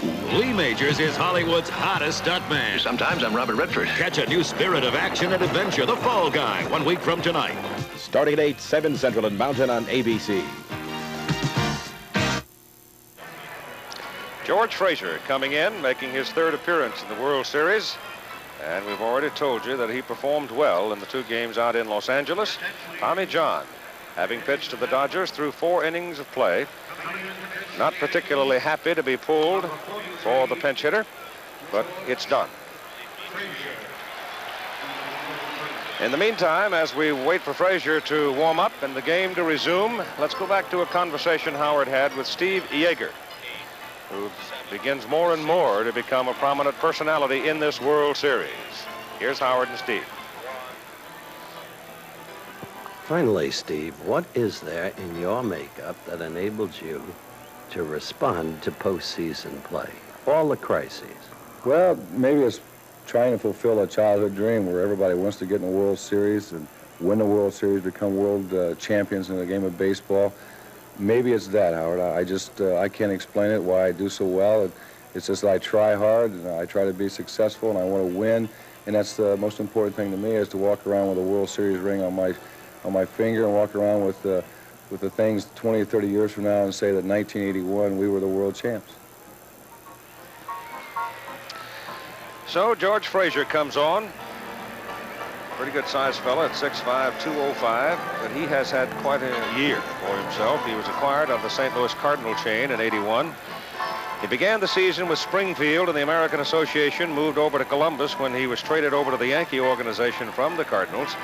And then he was called up by the Yankees at the start of the so-called second season, taking Gene Nelson's place on the roster. And through the first 13 and a third innings he pitched with New York, he didn't allow an earned run.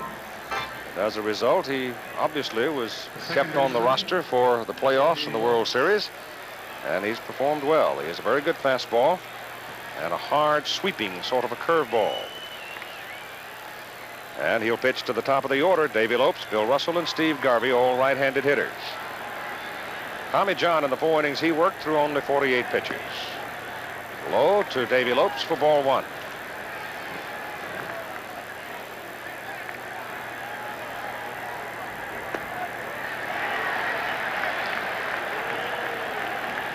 He comes out of the bullpen throwing at better than 90 miles an hour. There's a strike. One and two.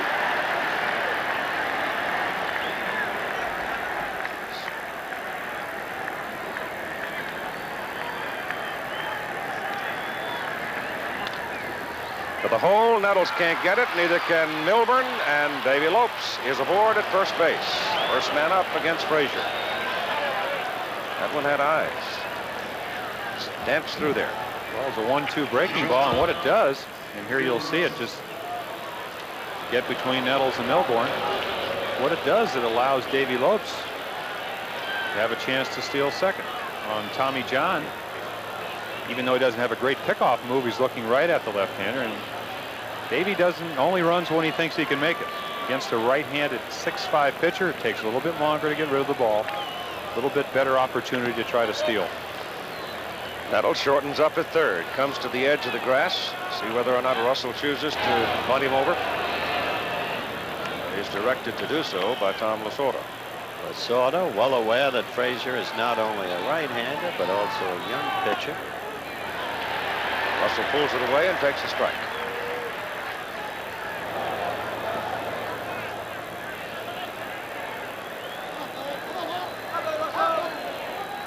Nettles coming in to talk to the young pitcher. Lopes coming off first. A 1-1 ball game. Dodgers up, top of the fifth inning. Pitch out. Lopes is not going.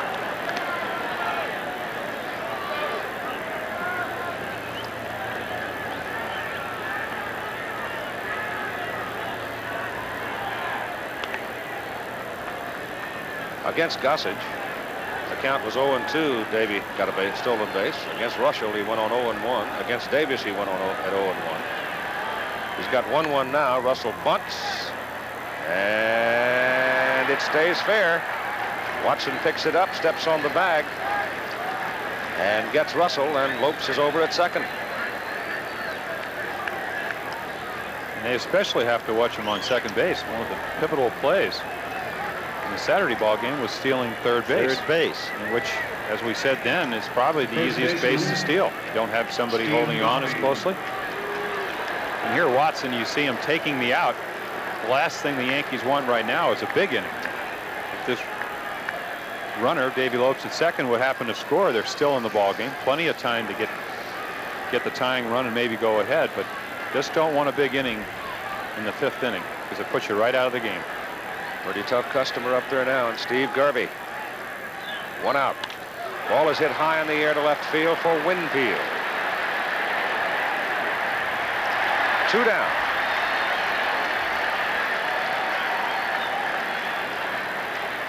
The third baseman. So Steve jumps on the first pitch. Bob Lemon.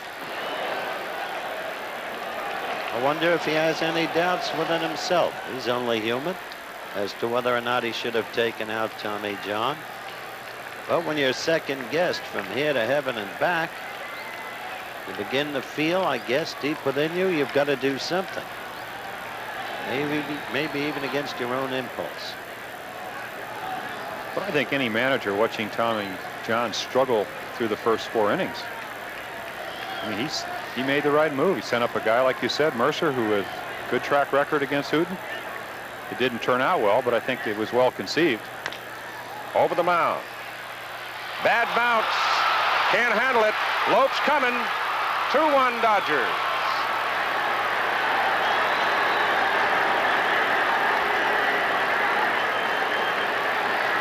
Here you see a good sinker. Just chops it up the middle. Hit right on the edge of the grass. And there you and saw the it dirt. kicked right. Yep. Hit right on where the grass and the dirt meet. And he just skipped right between them. Seems uncanny, doesn't it?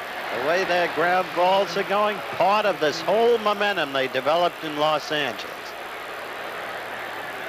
Two to one Dodgers as Dusty Baker takes a strike from Frazier, a base hit for Ron Cey. It seems like most of the bad things that happen to the Yankees happen when George Frazier's on the mound. I'm sure he's talking to himself. Pitch is outside. It is Make is one strange, one. isn't it?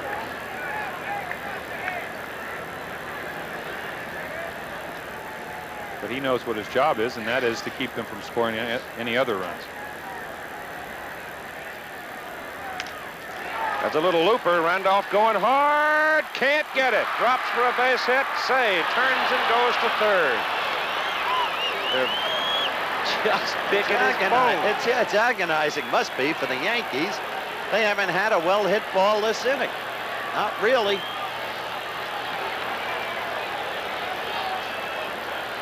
It's a no man's land back of second base. Mumphrey had no chance to get it. Randolph was the only hope, and it's just beyond his reach. So now with two out, you have Ron Cey over at third. You have Baker at first, and Guerrero your hitter.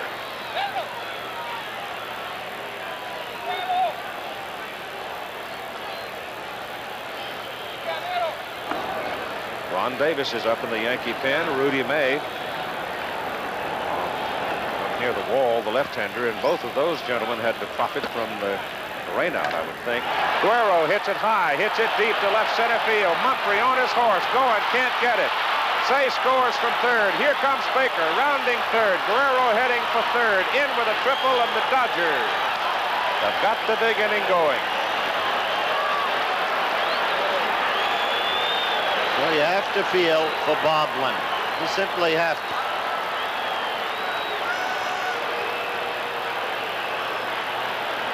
He hit that ball to the fence at 430 feet.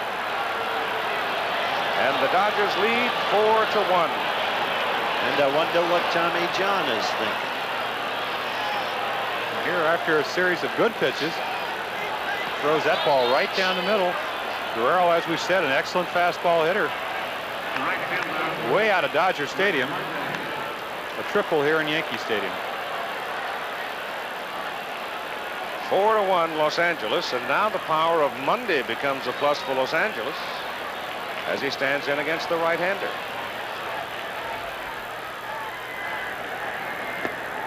Low for ball one.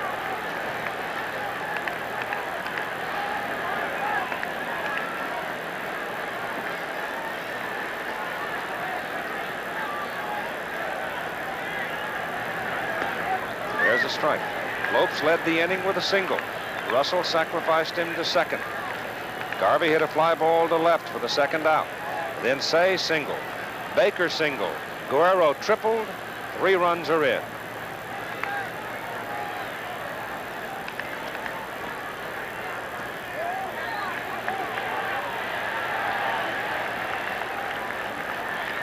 One and two.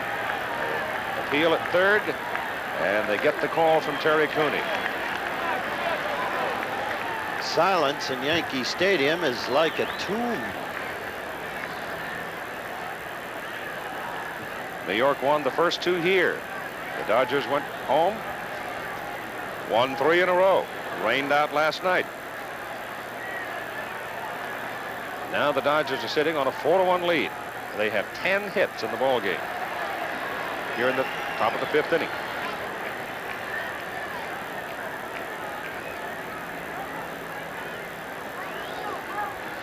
Davis and May continue to throw in the New York bullpen. After Monday comes Yeager.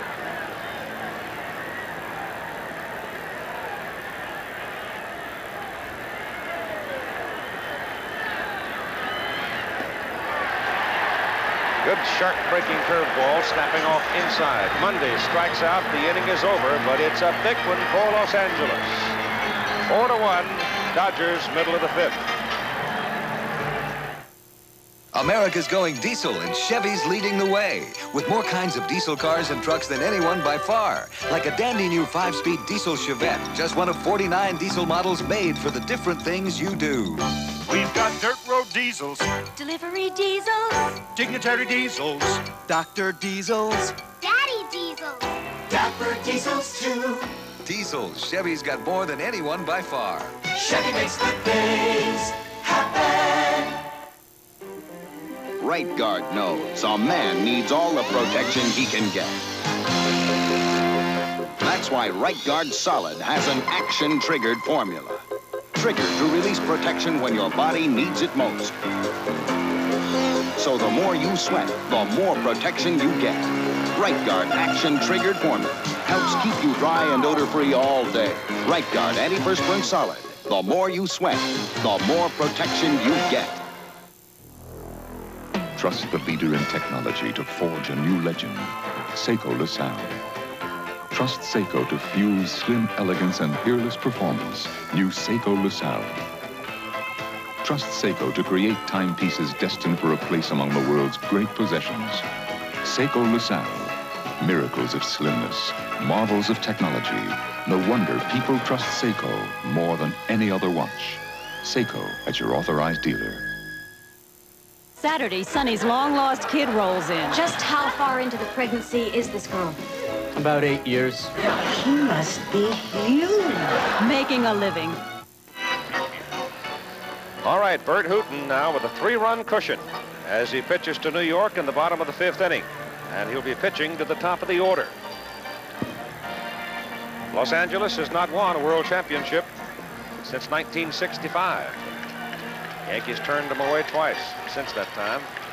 This is the 11th time these two teams have met, New York having won eight of the previous 10. Randolph had a home run in the third for the first run of the ball game, so he's walked and homered. And has yet in this series to swing at the first pitch. He's walked eight times.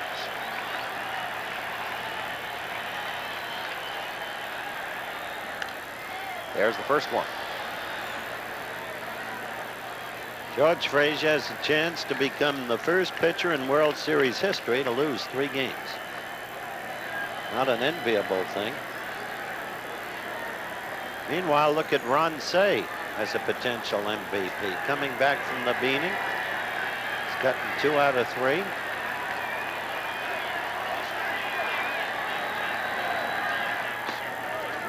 One and one. By the way, in 1919, when they played a nine-game series, Jim, a pitcher did lose three. It's harder in a seven-game series, obviously.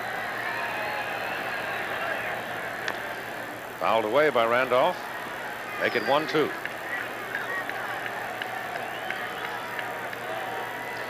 Old Texas Burt's liable to get pretty tough now. Well, he knows his job is. The advantage is swung to the Dodger. He knows that he does not want the Yankees to get back in the game in this inning. Ball is hit high in the air to left field. Baker going back, going back, going back. Can't get it off the wall. Randolph is in at second base standing with a double. A walk, a home run, and a double for Willie. Randolph's power is even amazing the Yankee fans. As I said, he goes one and two. He's ahead in the count. And there you see a high knuckle curveball. Randolph crushes it to left center. Baker can't get to it. That's a home run at Dodger Stadium because that's out there about 395 uh, on that fence. And very quickly, the Los Angeles bullpen is active. Jerry Mumphrey is at the plate. And again, in, as in the first inning, when Randolph walked and stole second, Mumphrey, even though they're behind by three runs, it's important he gets the runner over. Even one run puts him back in the game. Little check swing, line drive right to Ron Cey.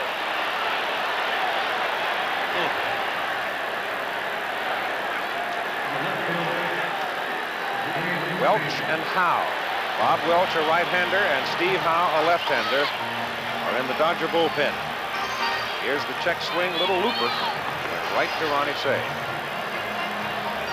That was almost a gimme, wasn't it? Here's Dave Winfield. Lined out to left and walked. His batting average, you got to shake the bucket to find it.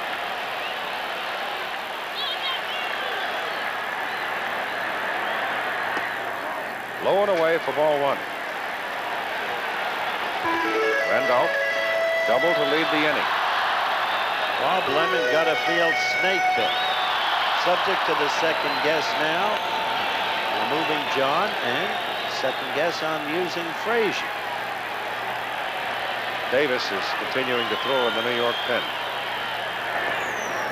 Well, that was his choice, Keith, Ron Davis.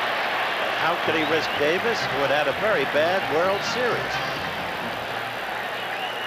As we said earlier in the series, I think that's been the key. Davis is fed. Exactly. They, they used him twice, and he was ineffective both times. Failed twice to hold leads. And it changes it changes your outlook on your bullpen. You can't go to him as early or in a crucial situation because you're not sure he can do the job. That's something they did not have to contend with during the regular season or in the the mini playoffs or the regular playoffs. Now, Davis was outstanding.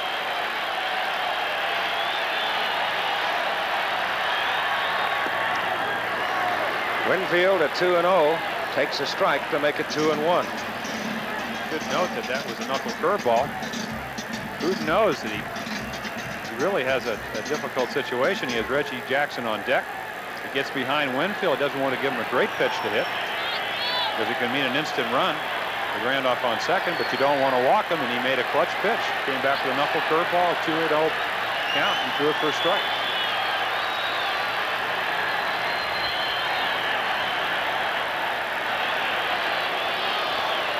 If Winfield should get aboard, of course. Jackson comes up. He comes up representing the tying run in a four-to-one ball game. There's the Dodger pen, the pitchers we named for you. The Howe, the left-hander, and Welch, the right-hander.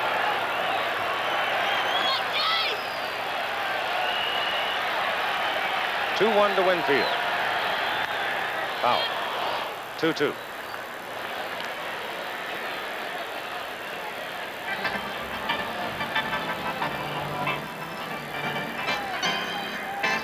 The Dodgers got three in the top of this inning.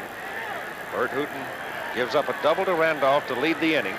Mumphrey a check swing pop out to the third baseman. Hooton trying to keep the Yankees at bay. He can get out of this inning, it becomes a big inning for him because he has stopped them in the bottom half of the inning in which his team scored three.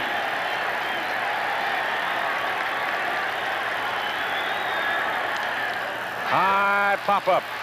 Winfield falls down at the plate as Yeager comes back and makes the catch. So Winfield fouls out to the catcher for the second out. David getting some boos as he goes back to the dugout.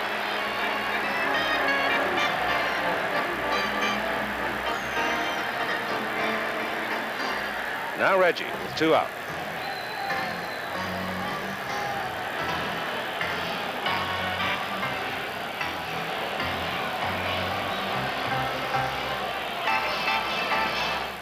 Well, is he still Mr. October?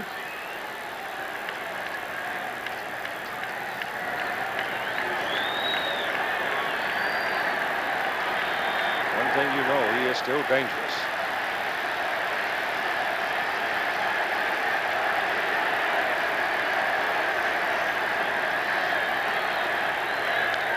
Popped him up. Yeager coming back for a look. It's on the screen.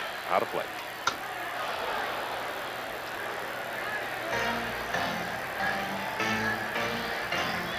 Up and into it.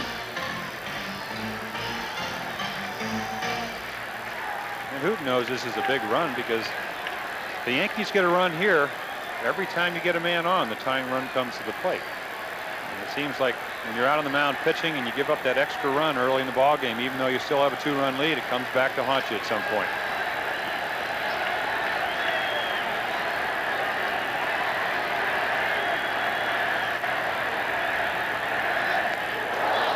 Pitch is inside.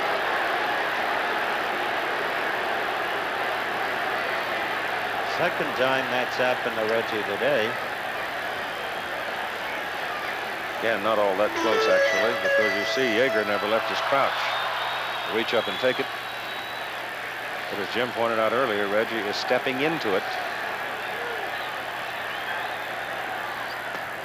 That's inside. Two balls and one strike. 4-1 Dodgers, two out. Yankees at bat, bottom of the fifth. Know, if you ever talk to Reggie why he is Mr. October, it's because of his aggressiveness, and you can see it right here. He may strike out, but he's not going to get cheated up there. He gets a pitch to swing at, it's going to be a pretty hard swing. Three balls and one strike. He hit a fly ball to left field back in the third with two on. Bobby Watson, the batter on deck.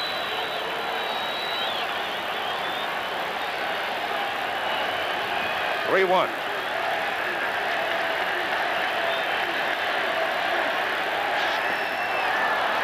Three two. Again, you see Hooton getting behind in the count. Has enough self-confidence to throw a 3-1 knuckle curveball. It was a ball, but Reggie chased it. Which I guess illustrates how difficult a pitch it is to hit. Especially when it's a grounder. You make a good point there.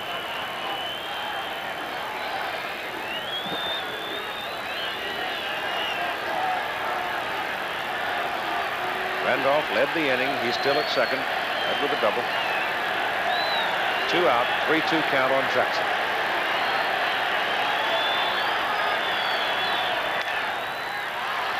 Lopes throws him out. The inning is over. The Yankees have now stranded six. 4-1 Dodgers. Back with more action after this from our local station. When an Orkan mates with an earthling, I'm a mother. anything can happen and will. You're going to be the prettiest, softest father a kid ever had. Mork and Mindy's baby tomorrow. Then Copper Creek finds a new marshal And you thought you were the cutest. on Best of the West. Tomorrow. Bank that's looking forward is always looking for better ways to serve its customers. And here's one of those ways. When you open a Security Pacific Bank tax-free savings account, you'll get a high rate of interest on your savings, and it's tax-free. And you'll also get this nine-function calculator with memory. Free. It's something you can count on now, only from Security Pacific Bank. High interest, tax-free. Free calculator, too. Security Pacific Bank, the looking forward bank. As you can see, the same long-distance call to the same place at the same time doesn't cost the same. Fact is, it can be half as much on MCI, the nation's long-distance phone company. If your long-distance bills are more than $25 a month, make one more call to MCI and start cutting those bills down to size. You haven't been talking too much. You've just been paying too much. Jerry Dunphy here tonight on Eyewitness News. Join us, the World Series station, for a Dodger recap. Post-game interviews from Tony Hernandez in New York. An expert analysis of the game from former Dodger Wes Parker. X-rated TV tonight at 11. Ron Davis is the third New York pitcher now, and here's what's happened to him in the World Series. In game one, he walked both of the batters he faced, went out in the eighth inning. Game four, retired the first three, then he walked a man, gave a home run. There was an error behind him, gave a single, and left in the sixth inning. So he has not had a good World Series. In the third inning, Willie Randolph hit a home run to give New York the lead one to nothing. In the fourth inning, Baker singled. Monday delivered a two-out single. Yeager singled to bring Baker home. In the fifth inning, Lopes with a single. Russell sacrificed him to second. Ron Cey a single and a run batted in. Then came Baker's single. Guerrero followed with a triple at four. Four to one Dodgers as they come to the plate in the top of the sixth inning with Steve Yeager, Burt Hooton, and Davey Lopes. Steve Yeager promptly tied up the game after the Yankees had assumed a 1-0 lead in the bottom of the third. Jumps on the first pitch and fouls it in the crowd. Yankees have had a number of opportunities. Twice they've had men on second base with nobody out. In each case, they failed even to ever advance the runner. Winfield and Jackson have each failed twice with a runner in scoring position. One ball and one strike as he's inside. New York came to the World Series with nine pitchers. Los Angeles came to the World Series with 11 pitchers. That's because of the designated hitter.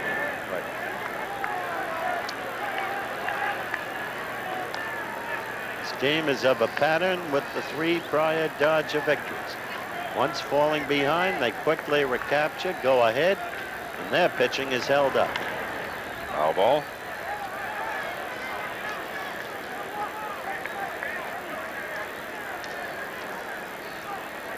And in each and every game of the last four, manager Bob Lemon involved in controversial judgments.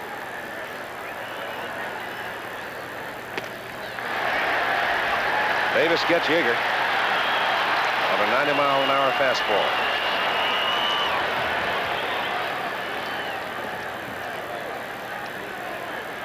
Bob talking to Charlie Lau, the Yankee batting coach. Attention, Burt Hooton. All right, here's Burt.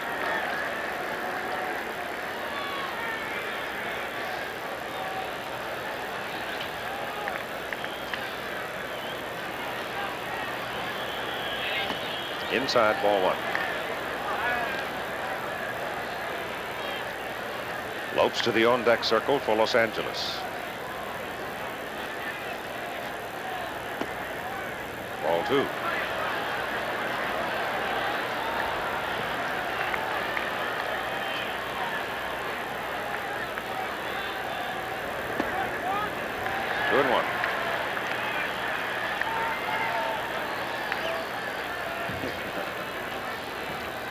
No Drysdales on that pitching staff. Remember when Big D was used as a pinch hitter by Walter Alston?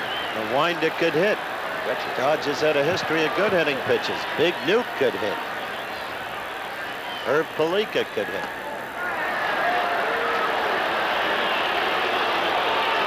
Jacket will come out for Burt Hooton as he goes to first base on the walk. This is exactly, or it has exactly been Ron Davis's pattern.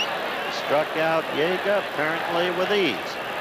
Then walks the opposition pitcher. Well, that's what happened on the Saturday ball game. Six to three lead. Helped the Dodgers get back in into the game with a one out walk and threw the home run to Johnstone. Got trouble the same way in the Milwaukee series. Which is why Lemon went to Frazier. He no longer trusted Davis.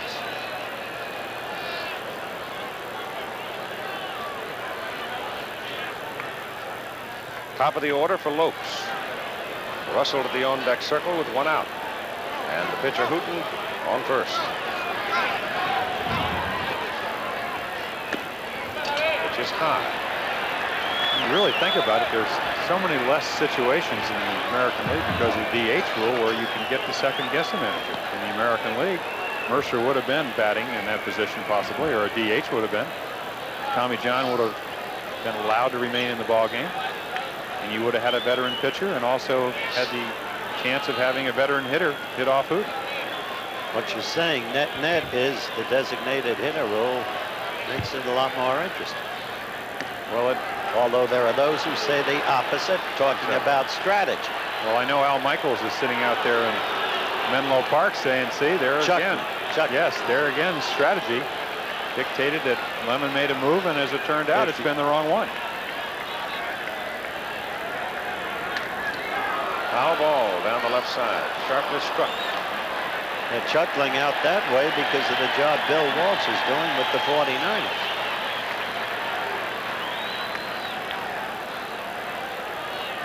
Ex-Rams and Chargers. Another reason that Ron Davis is struggling, we've seen him be really wild, but also he, as we said, he throws hardly any breaking balls at all, and the Dodgers are known to be fastball hitters. And when you get behind them 2-0 and throw a fastball in the middle of the plate, they're going to have good swings. And when this happens, just enhances the, the chances of them getting base hits. And there you saw Davey Lopes 2-0, fastball in the middle plate. He was even out in front of it, but hit it right on the nose, but just a little bit foul. And now interrupted Davis's rhythm. Backing out for a moment, backing. He checked on it. Three balls and one strike. Rudy May, the left-hander, and Rick Reuschel, the right-hander, in the New York bullpen. May is the second time up for Rudy.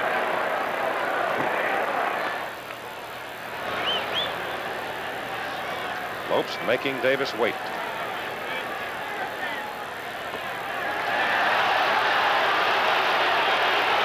Really building a grave. Digging a grave, I guess I should have said. Hooton to second, Lopes to first.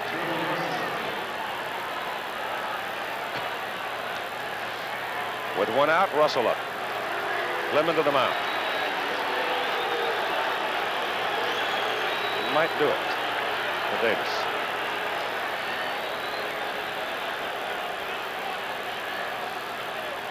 Well, he did have Rick Reuschel available for the entire ball game. It's been really, this would be his fourth day since he pitched on Saturday. And what did he pitch? Pardon me? What did he, how many innings he pitch? Pitched three, didn't he? Yes, I mean, this would be a regular term on a four, four-day rotation. And again, he went with a rookie. Of course, he didn't pitch again in his third consecutive game. Frazier didn't pitch as badly as the hits and runs indicated. All right, Davis stays. And the pitch to Russell is in there for a strike.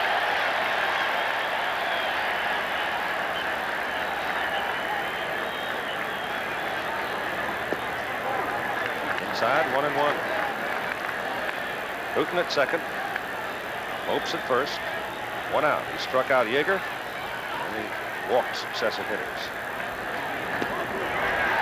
One and two for Russell.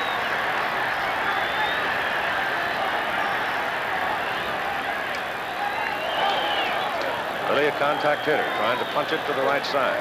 Didn't get it.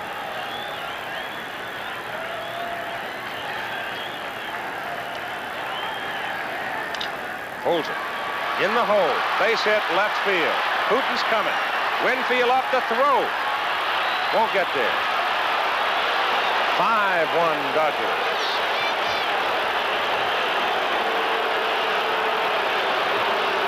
Everything is coming apart. A very poor throw by Winfield. Ron Davis failing again. And an owner who is taking careful note.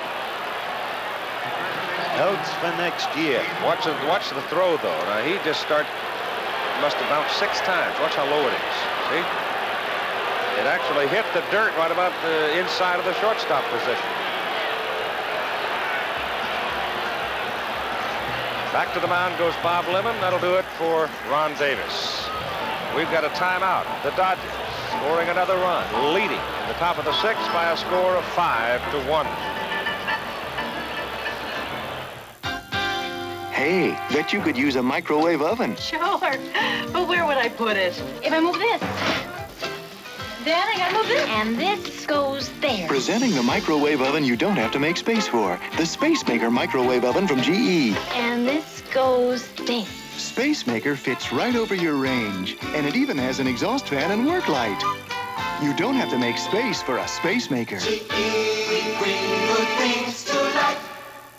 Come on now. Are you going to spend this weekend hibernating again? But it's cold out there. That's no reason to let your fine, firm body go soft. We're AMF. We make what it takes to keep you in shape indoors. Voit racquetball. Whiteley Bruce Jenner exercise equipment and AMF bowling equipment. Remember, you won't get a cup for hibernating. All you'll get is a pot belly. Reeses Pieces, Reeses Pieces. Well, imagine your surprise when you realize, well, some difference. Reese's peanut butter flavors inside. Reese's Pieces. Inside this candy shell is Reese's peanut butter flavor. Reese's Pieces. Well, imagine your surprise when you realize, wow! Reese's peanut butter flavors inside. Reese's Pieces. Wow, some difference. On Halloween, watch out for a very spirited NCAA college football doubleheader. First All-American quarterback Art Schlichter and conference co-leading Ohio State battle the Boilermakers of Purdue in a Big Ten column, plus other regional confrontations. Then haunting national action as undefeated Penn State, the number one team in the nation, attacks Miami, a bewitching brew. Saturday on ABC. 32-year-old Rick Reuschel, who came over to the Yankees trade from Chicago Cubs for Doug Bird. And Mike Griffin eventually went over to the Cubs. He was traded to New York just on the eve of the strike. You saw his numbers a moment ago. He is the fourth New York pitcher. John started. When he was lifted, the score was 1-1. Frazier relieved. He gave up three runs. Davis now is charged with one. And Davey Lopes out at second base. Bill Russell at first base are also the property of Ron Davis. Thomas has now come out to the on-deck circle and apparently is going to hit for Ron Cey as Steve Garvey comes to the plate for the Dodgers. You have one out. Yeager struck out to lead the inning. Then Davis walked Hooton. He walked Lopes, and Russell singled. And there's Derrel Thomas, and it's a very wise move on Lasorda's part to take Ron out of the game. It was amazing that he started the game. That involved both courage and great physical resiliency, and Cey came through with a pair of hits. Pitch is low and away to Garvey for ball one. Steve had a pair of singles and two at-bats against Reuschel.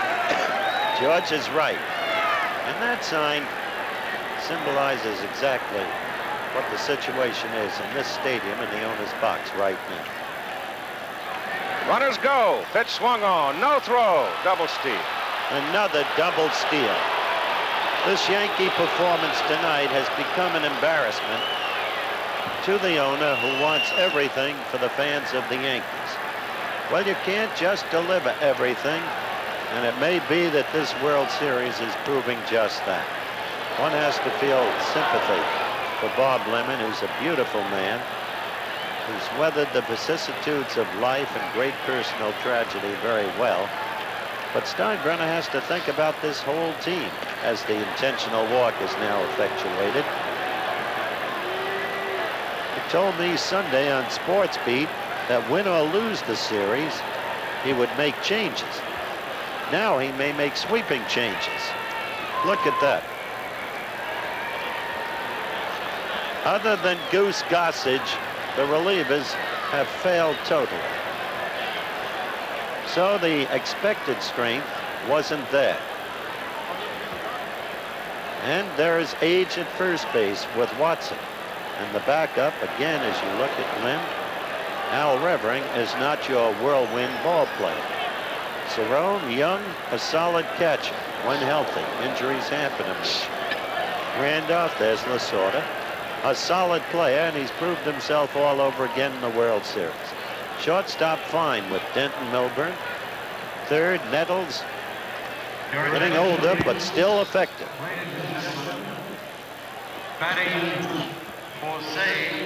At the same time, when you consider the Dodgers, uh, time is beginning to whittle away at some exactly of their so. key people.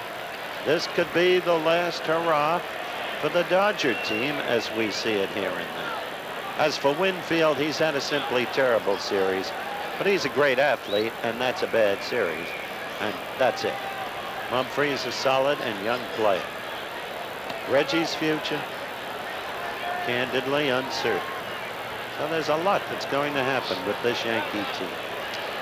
The bases are loaded behind Russell now with only one out, and Derrel Thomas steps in from the left side and bunts it foul. Had a little safety squeeze going. Lopes was about three strides, four strides off the bag at third. For Lasorda, one must say he has managed a superb series. Always on top of things, always forcing things, as the most recent double steal evidence. Well, exactly, and the Dodgers have done that, but I think right now, I, if I'm managing, I bring in Rudy May mainly because I want, can't afford to give up another run. Mm. Thomas is very difficult to double up from the left side. Yep. If he bats right-handed and Rudy makes a good pitch, you, you set up you set up a double play. We saw that with Larry Milbourne. From the right side, he's a double play man. From the left side, he beats the double play by a step. But I think the prophetic thing that was said in the interview with Reggie Jackson today, when you get down three games to two in a series, sometimes a bad hop can turn the game completely around, and we've seen that tonight. The ball that Cey hit up the middle. Yep. Hit the edge of the grass and right through two. And that makes a difference. Nettles spears it, steps on the bag, whirls and loops the throw across, safe at first base. Another run scores. Six to one Dodgers. I'll tell you though, that's just what Jim Palmer was talking about. Get him batting from the right side. Yep. But that was truly a remarkable effort by Nettles. It really was. Look well, at it again, Jim. He made as good a play as you can make. He barely gets to it. There you can see him step on the, the base. But look at the throw. While we won't see it again, he couldn't get a lot on it, but he still got it there and barely failed to get so swift a runner as Thomas. Now it is Dusty Baker with Garvey up at second and Thomas on first. Russell being forced by Nettles at third. But I think another look at it, Jim. Here you see Graig going to his right makes a nice play. Really a desperation throw. He's known for having one of the most accurate arms, if not the most accurate arm in the American League, and the throw is right on the money, but Thomas beat the play. Baker to Nettles off his chest. No play, I don't think. Nope.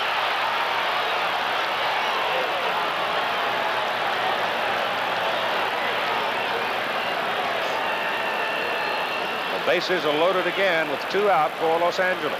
6-1 Dodgers lead. They scored one in the fourth, three in the fifth, two here in the sixth. Another look at it at third. The ball comes skittering up, hits him right in the chest. And it's an error in on Nettles. In the last analysis, too, Keith, analyzing it out, Dodger pitching has proved to be stronger than Yankee pitching. That's a foul ball. Wouldn't you agree? Yes, sir would indeed. Mr. Pitcher, wouldn't you? Most definitely. Saw Reuss come along and struggle early. Pitched a Nashville game. As Garvey at third. Thomas at second. Baker at first. Two runs are in. Two out. Guerrero, who had a two-run triple in the fifth inning, is at the plate.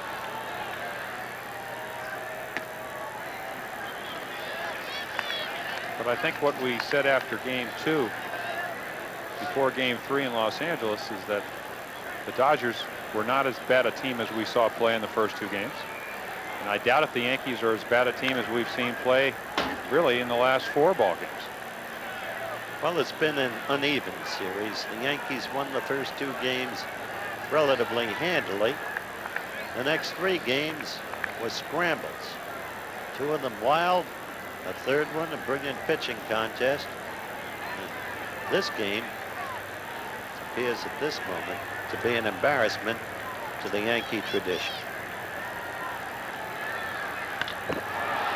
Ball is lifted out into left center field. Mumphrey can't get it. Garvey scores. Here comes Thomas to the plate. The throw to third, not in time. Double Guerrero. Two runs are in. And it's becoming a blowout. 8 to 1 Los Angeles.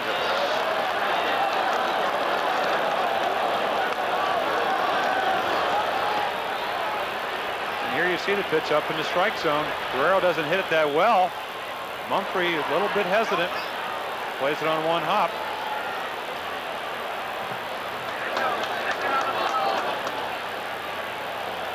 Couldn't get it. The ball dropping in front of him. Makes another transgression there. He missed the cutoff man, and Guerrero was allowed to go to second. A lot of mistakes in this inning. Monday being walked intentionally.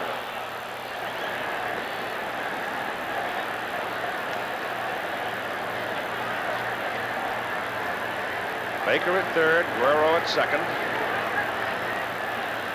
Two down. And four runs in for the Dodgers. Four. Some of the folks People are beginning to leave Yankee Stadium. Who can remember that around these parts?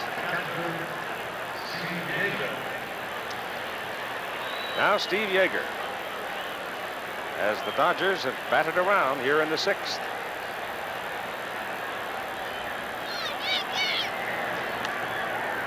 Steve fouls it away. He struck out against Davis to lead this inning.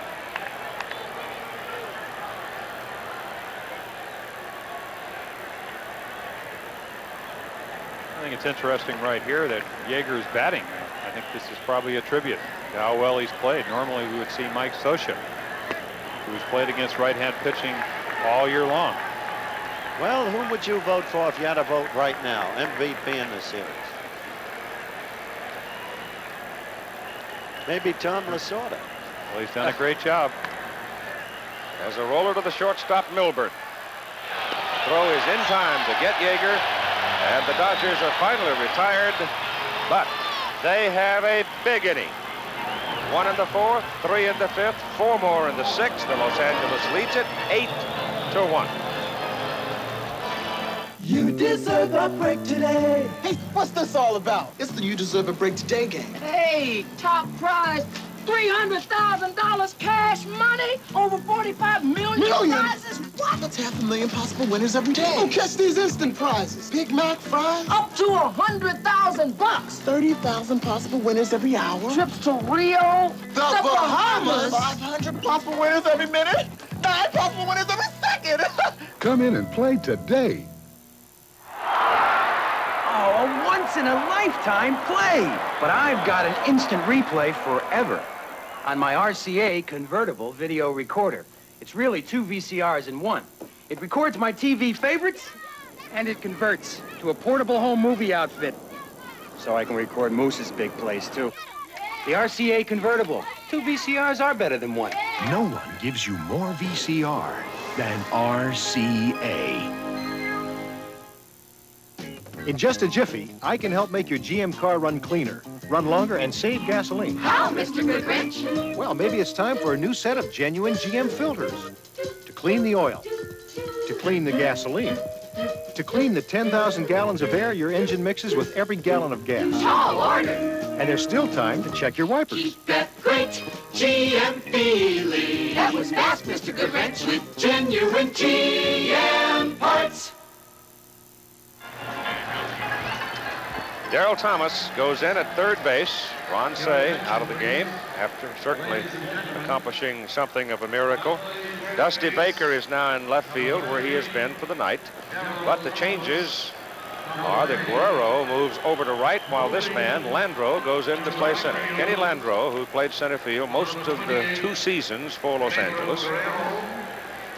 And he, of course, was with the Minnesota Twins and put in quite a bit of service in center field here in this ballpark, so he knows it quite well.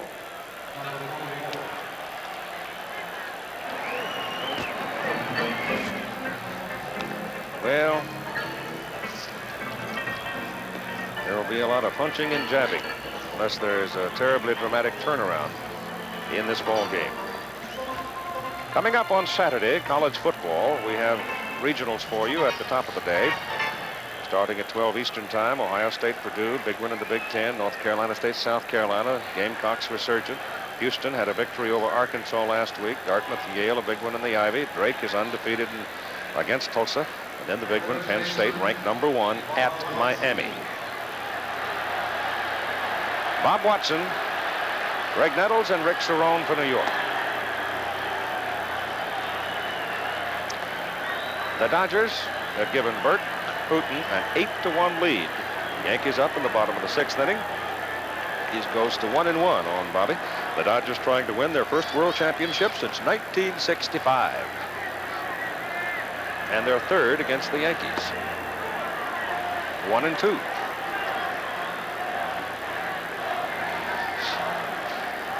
From here on to the finish of this ball game, if Hooton gets in trouble, it will be Staff warming up. The only man that might not be told to, to crank up would be Fernando.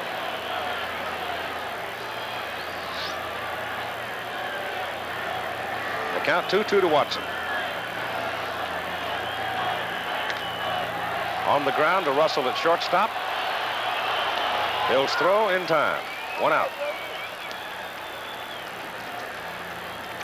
The third baseman, Graig Nettles.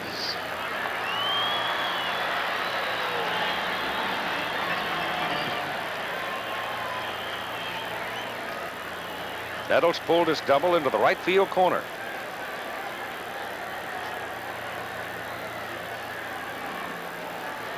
I think the most important thing for Burt Hooton is he doesn't get away from his game plan.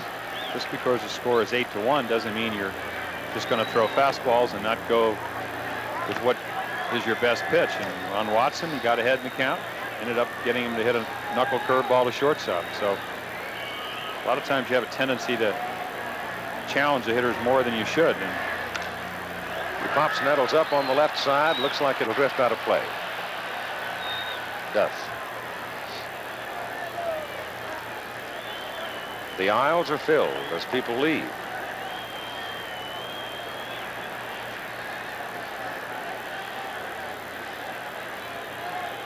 At least the one on the right side.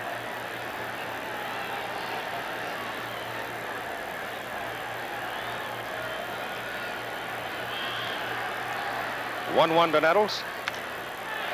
The right center base hit. Graig has two hits, sore hand and all. Yankee dugout looks like it's shocked, doesn't it? Stunned. The proud men wearing a proud uniform with a proud tradition. And all that pride has been knocked out tonight.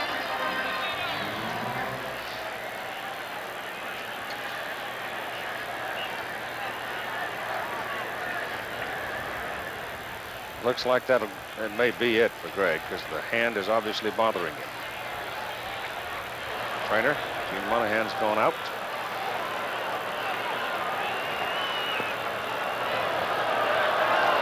He'll leave the game. Well, if indeed he has a hairline fracture, Jim, it was remarkable that he got the two hits he did.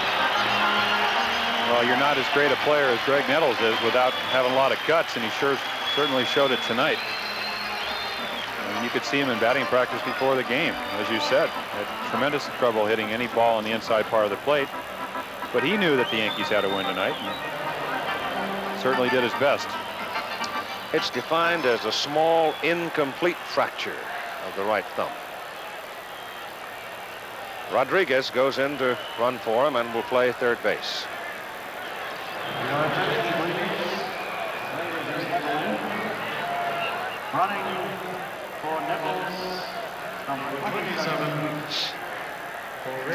The batter is Rick Cerone. And the pitch misses. First ball one. Yankees at bat in the bottom of the sixth, and the Dodgers leading eight to one.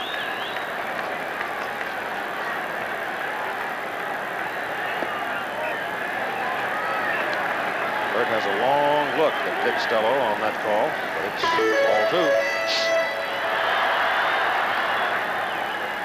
The Yankees won the first two here. The Dodgers won three in a row in Los Angeles, and they're trying to slam the door on the Yankees here tonight. Two and one.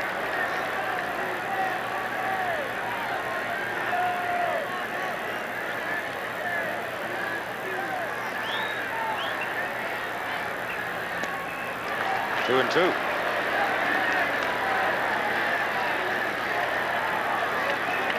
Dodger bullpen is active again. If the Dodgers win this game, as appears certain, it'll be only the second time in history a team has lost the first two and come back to win four in a row. The Yankees did it against these Dodgers in 78. Howe's the left-hander. And Welch the right-hander. Welch didn't get anybody out in the start that he made. He is a hard throwing right-hander. Three and two now to Cerone. Rodriguez on first. Foul.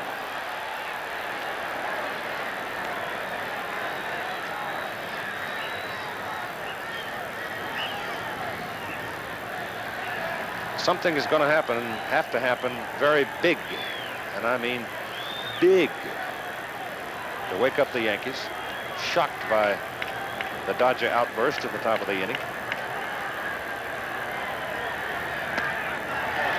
Hooton walks Cerone.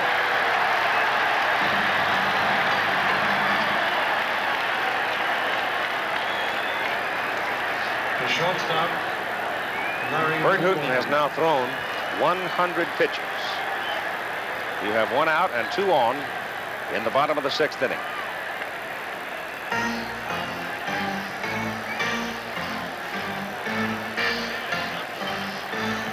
Well, there you see Rick Cerone. He's yelling at Burt Hooton because he threw so many breaking balls. I, I guess he feels that Burt should be throwing him fastballs. Burt learned his lesson. He threw fastballs to Greg Nettles and he singled into center field. Of course, the last thing I think Hooton wanted to do was walk Cerone.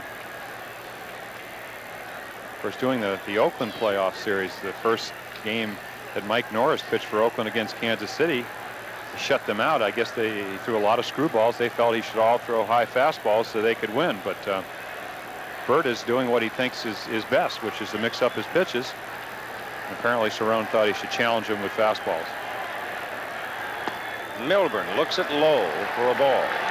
Rick Reuschel is in the on-deck circle, but with only one out, and Hooton struggling right now with his control. Rudy May is back in the New York bullpen, cranking up in a hurry. Outside, ball two. Here comes Tom Lasorda out of the dugout. That's what, 102 pitches now for Happy. So they'll talk, and we'll see if Lasorda wants to make the move now, or if he'll give Welch and Howe a little more time. Rick Reuschel is in the Yankee on-deck circle. Bob Lemon refusing to tip his hand as to which man he might call on. Obviously, he wants Lasorda to make the move. Tom is not, at this point, ready to make it. Well, again, that's very good strategy. He comes out with two balls. If Hooton would happen to lose this hitter, then Bob Lemon has to make a move with his pinch hitter, and he can either come with a right-hander or the left-hander. He waits till the this Milbourne is either walked or gets a base hit, then Lemon has the, the upper hand in strategy. Ball three, three balls and no strikes to Milbourne. You've got one out. You've got Rodriguez at second, Cerone at first. Eight to one Dodgers. Hooton struggling now. Three and one.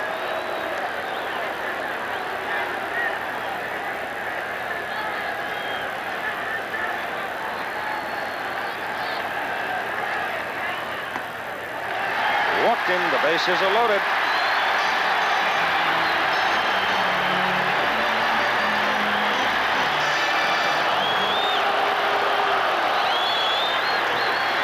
Gamble comes out, picks up the sledgehammer. And if Tommy's doing his job, he would wait till Oscar's announced. He is announced. So Gamble is official, and Tom Lasorda will make a pitching change. 8-1 timeout on the field. Happy birthday! Oh, my goodness! Make way here. Hot cake, hot cake. Hey, everybody. Here comes your present.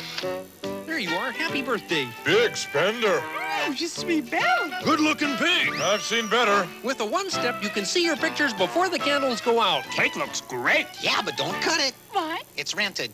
Rented? Well, rent yourself another pig. And give me my picture. Polaroid means fun. With a one step. Holiday Inn. Welcome to our people pleasing Hi. That the Holiday Inn East, the Holiday Inn West, the Midtown? The one by United Industries. The one by the headquarters or the plant? The headquarters. We offer you a choice of the most popular locations. You need three hands. You're right. People-pleasing locations. The airport? The one by Holiday Inn North or Holiday Inn South? Is number one in people pleasing.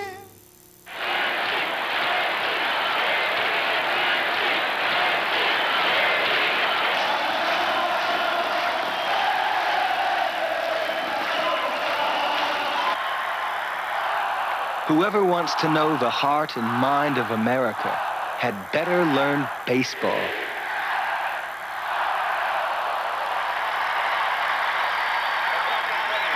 Baseball fever.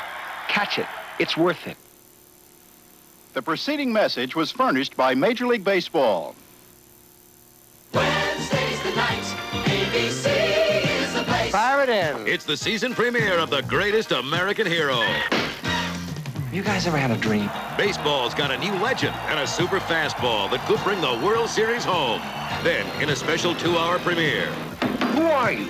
Lee Majors is Hollywood's hottest stuntman. Sometimes I'm Robert Redford. Catch a new spirit of action and adventure, The Fall Guy, one week from tonight. Starting at 8, 7 Central and Mountain on ABC. Young Steve Howe has come on in relief of Burt Hooton.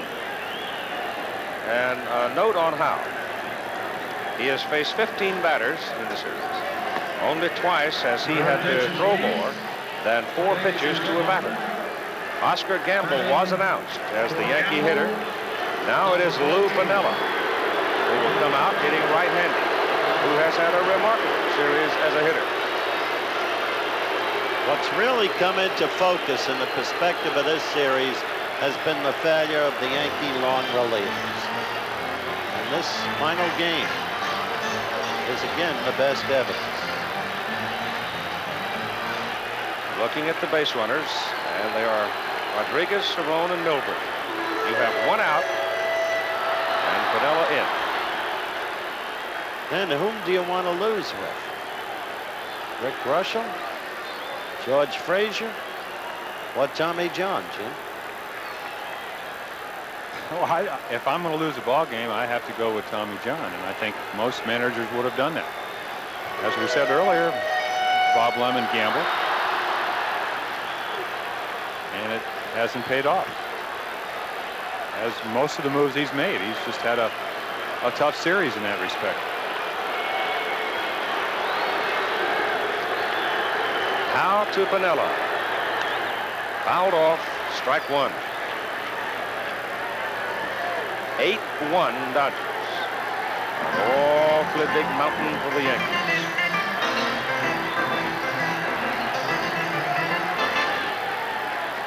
Piniella turned and yelled something into the Dodger dugout.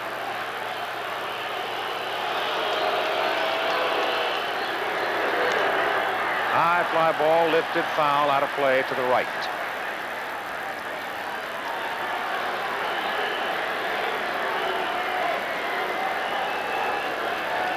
See he has, as I said, had a most productive postseason. Forster and Welch in the Dodger bullpen now. Two strikes on Lou Piniella.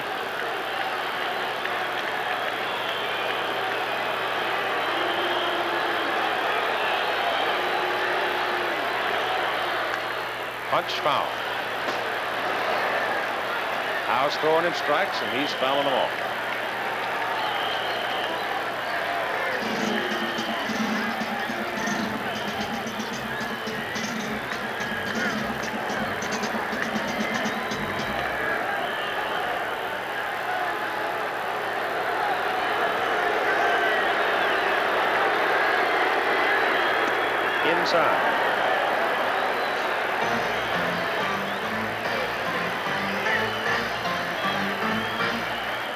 Base hit figures to deliver two for New York.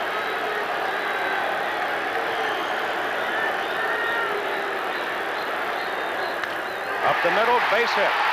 Rodriguez scores. Cerone will come.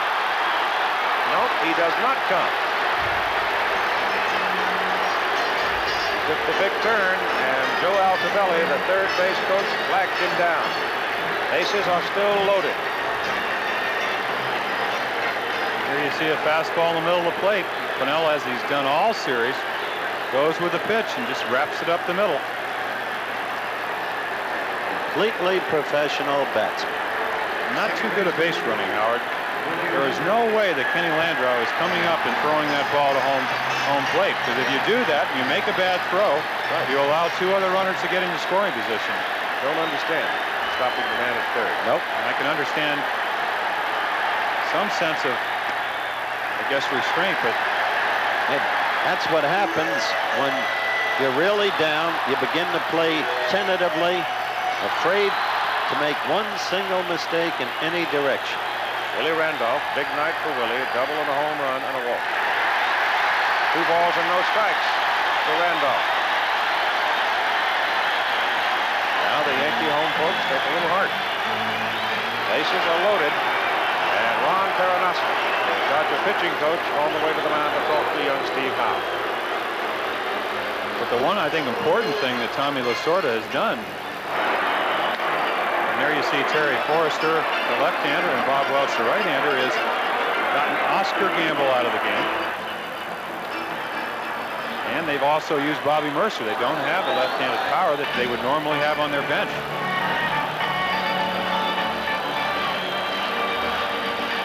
Still have one out, a run in. Bases loaded.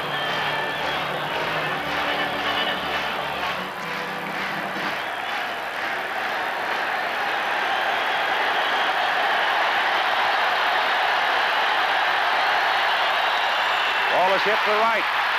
Guerrero flags it down. Runner tags from third and does not come. Good throw by Guerrero.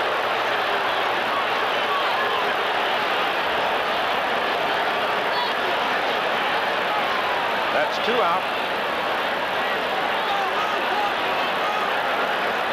I think Lou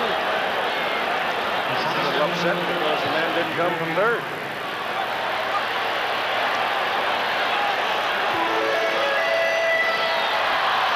That's what Lou Piniella, you might have observed, just said. Worst base running I've ever seen.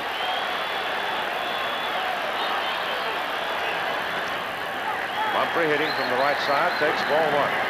Well, if there ever was a statistic kept for the worst base running in mm. four consecutive games, I think the Yankees would qualify. They just have not played the way they play most of the season. I know playing against them, they wouldn't have finished first the first half if they played like this. Inside corner for a strike.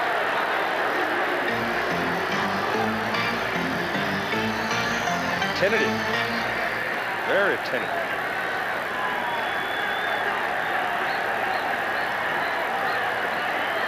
When you're being blown out, you've got to be aggressive.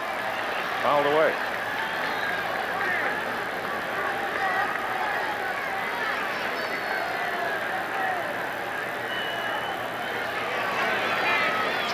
Cynthia now.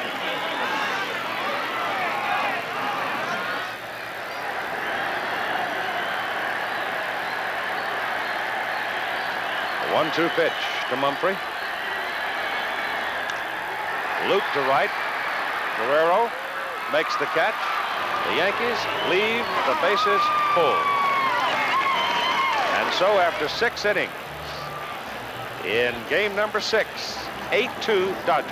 Back with more after this from our local stations. Tomorrow, the season premiere of Barney Miller. Is it true that Sergeant Wojciehowicz is going to be a father? And Wojo gets hit with a paternity suit. I'm sterile. You're so big. And Jim becomes a network program executive. When do you finally stand up and assert yourself? August! Taxi!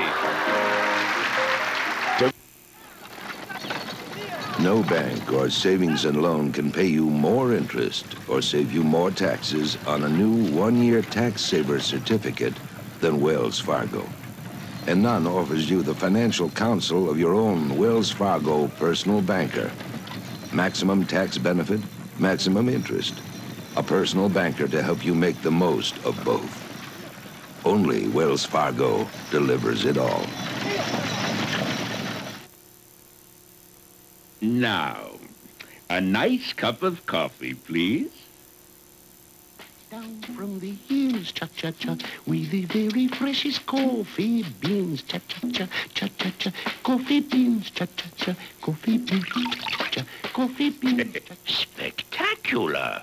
Western Airlines, the only way to fly.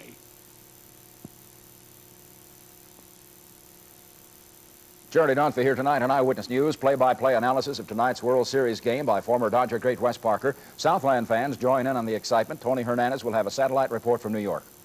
X-rated TV tonight at 11.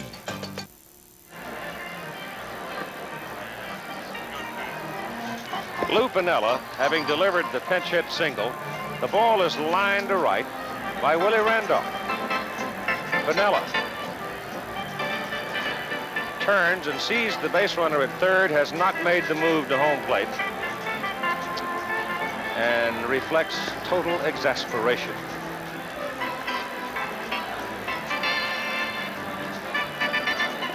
Rudy May now comes on to pitch for New York, and he is the fifth pitcher in the ball game.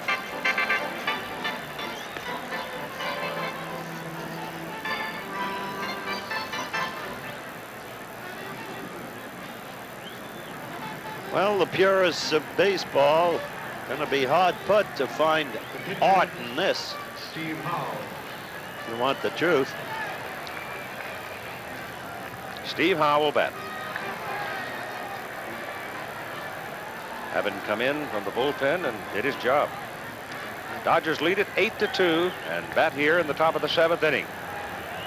Rudy May strike on the corner.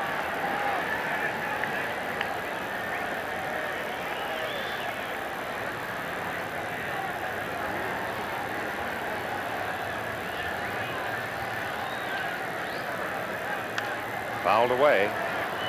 And it's two strikes on the Dodger pitcher, Steve Howe. Then it'll be the top of the order, Lopes and Russell.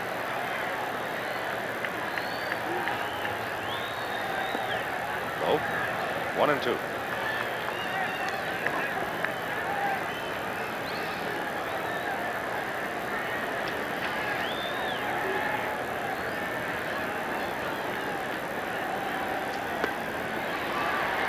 Steve's gone. Strike out for May. One out, and Lopes will come. The Dodgers in the five-game series against Houston, down 0-2 to win three in a row at home. Back to the wall. Monday hits a home run on a cold day in Montreal over the center field fence in the League Championship Series. Hooton, the MVP in the League Championship Series. They come to New York. They lose two. Now they are on the verge of winning their first World Championship since 1965.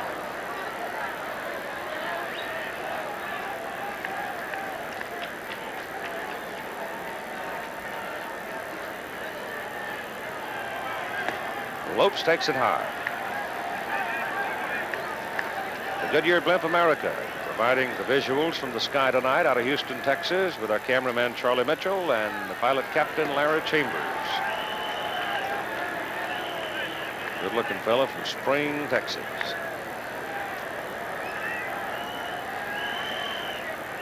May at 2 and 0 to Lopes comes inside to make it three balls and no strikes.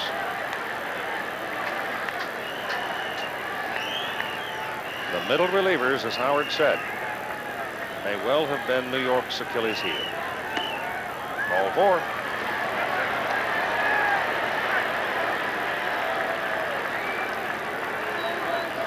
Certainly a soft underbelly.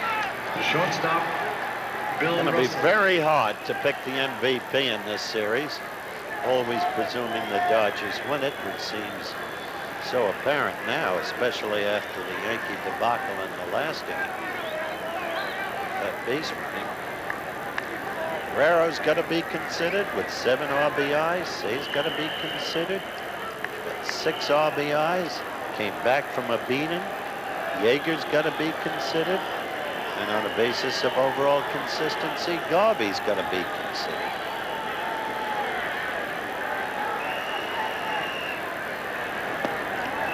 Russell looks at Lowe.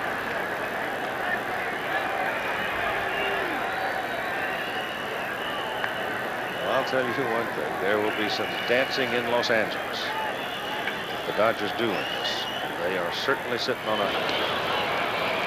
They've got their foot in the door. And the cork about to pop in the clubhouse.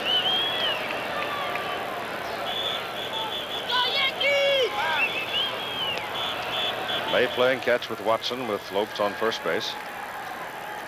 One out. Garvey on deck. And a one ball count on Bill Russell. Two balls.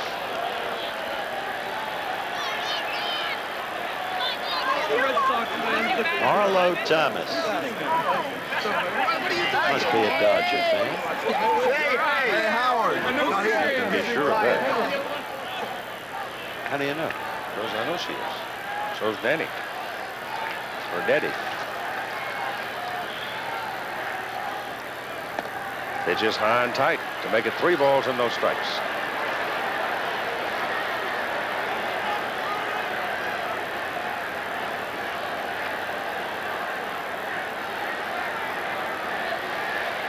It has become a laborious evening for the Yankees.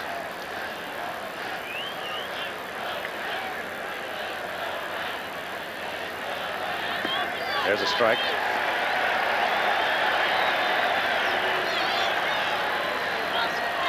More activity in the New York bullpen.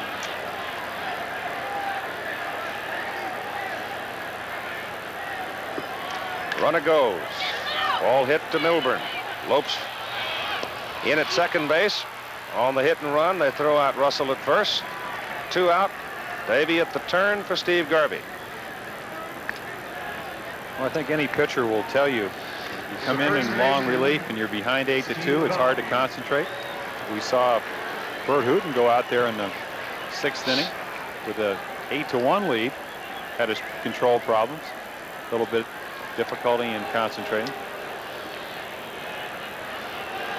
Not an easy game to pitch in when your team's way ahead or way behind.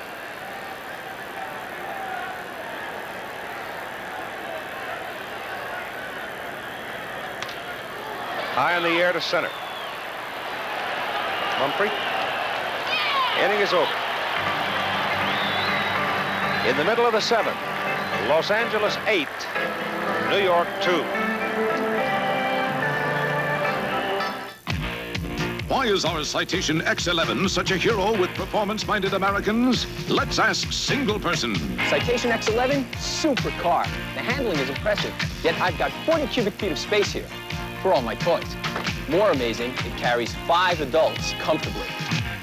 Then your Citation X11 will fit right in when you're married and have kids. I'm going to pretend you never said that. Now get bigger savings on new 1981 Citations. United announces great low prices on complete Hawaii vacation packages.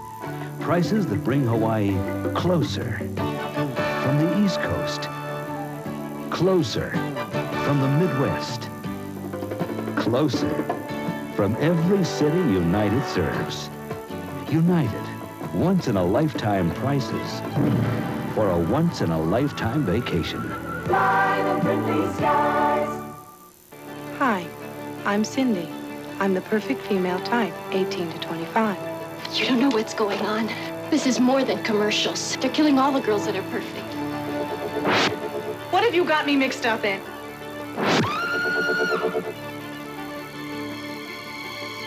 If looks could kill. Looker. Rated PG. Starts Friday. Check newspaper for a theater near you. All Savers certificates are one month old. How successful is the program? Plus, how the president won Senate approval of the AWACS sale. Tomorrow, watch ABC's World News Tonight. There is a good deal of the story right there in this World Series.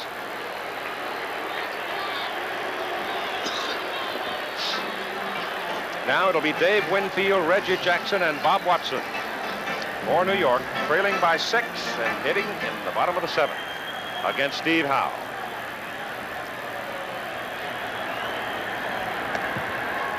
And it's ball one to Winfield.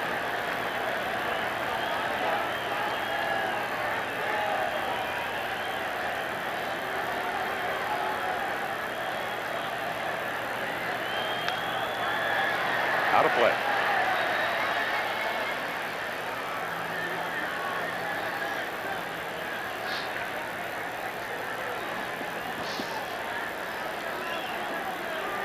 ABC News Nightline. I'm sure most of you have heard that the Senate vote swung today in the president's favor. The senators approved the sale of AWACS reconnaissance planes to Saudi Arabia.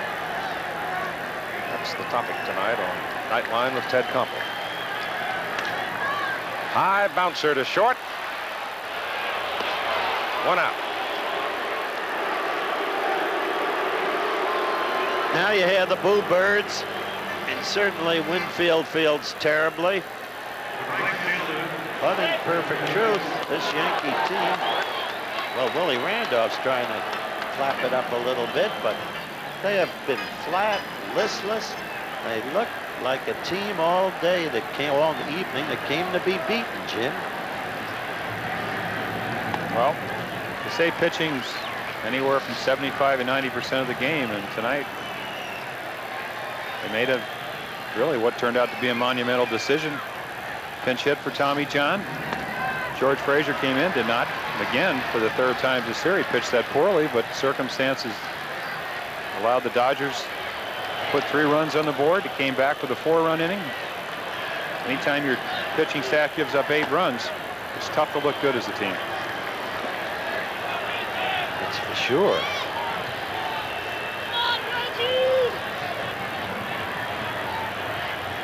Howe has Jackson at one and two.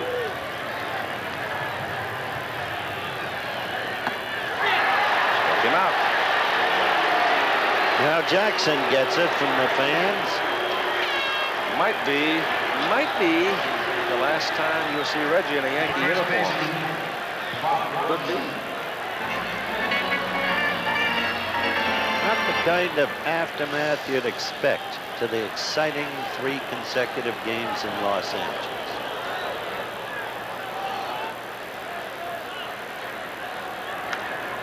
Bob Watson fouls it away. Well, I'll tell you, you get into a street fight with these Dodgers with the speed they have and the power they have. And if you don't have good pitching, and Houston has good pitching, Houston couldn't beat them. They couldn't put them down. Interesting you mentioned Houston. Before the game, let's watch this.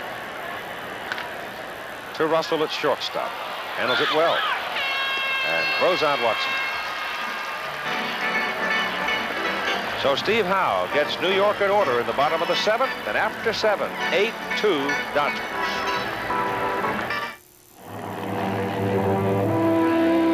Control six to base. Looks like this uh, big old hole in the ground is going to be safe for the night. Over. They come out all beat. It's Miller time. Miller time. Time to appreciate the difference between a good beer When it's time to relax and a great beer. One beer stands clear Miller High Life. You got the time We got the beer Miller beer Come Miller time We got the beer People trust Seiko technology for bold sports watches that perform brilliantly, even 100 meters beneath the sea. People trust Seiko for slim dress watches with every timekeeping function you'll probably ever need. People trust Seiko for watches that are as finely crafted as they are technologically advanced. In fact, people trust Seiko more than any other watch. At your authorized dealer. How's the cold tonight? Oh, don't ask. I got you some cough medicine. But I'm also sniffling, sneezing, aching. My head is stuffy. I'm feverish, and I gotta rest. I was supposed to get a sniffling, sneezing, coughing, aching, stuffy head fever so you could rest medicine? That's NyQuil. It relieves a cough as well as this, plus all my other symptoms. NyQuil. Would you get me some? Be right back. NyQuil, the nighttime sniffling, sneezing, coughing, aching, stuffy head fever so you can rest medicine. On Halloween, a spirited college football doubleheader as Ohio State battles Purdue plus other games. Then first-ranked Penn State attacks Miami, of a bewitching brew Saturday.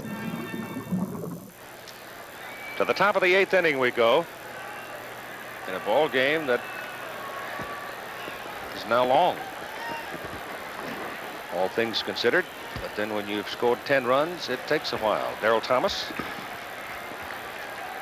Dusty Baker and Pedro Guerrero.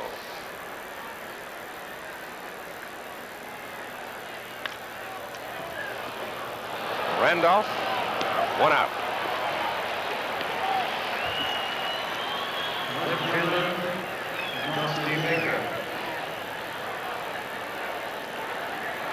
You Stands half empty now. People pouring out by the droves.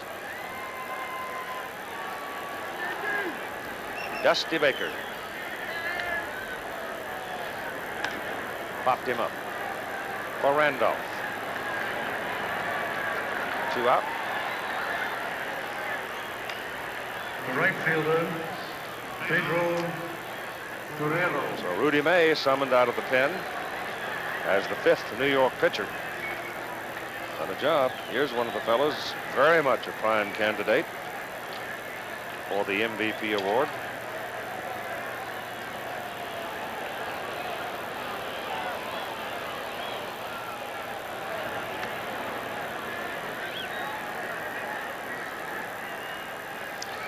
Bit slow to get started, but once he got his engine running, he's been tough.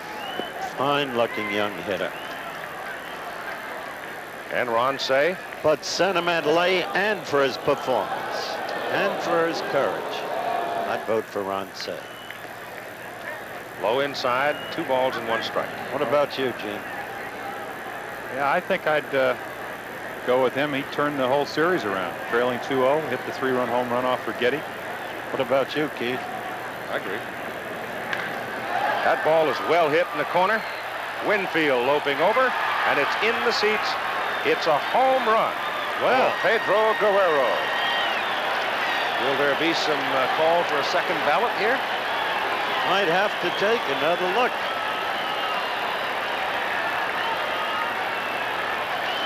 Clutch home run to tie the game Sunday. Tremendous day today. Five runs batted in. You see him hit a curveball. And it was well hit. So the Dodger right-handed power did find the seats in Yankee Stadium tonight, didn't it? Also, Guerrero's triple found the wall at 430. Pitch to Landreaux. I didn't see Dave back at the fence leaping for that one, which is not meant by way of criticism. Maybe he just couldn't have gotten there. The ball got there so fast. Well, he hit that ball with a lot of topspin, and it looked like he really misjudged it because he went to the line, and the ball actually went out a little bit to right center. That could have something to do with the wind.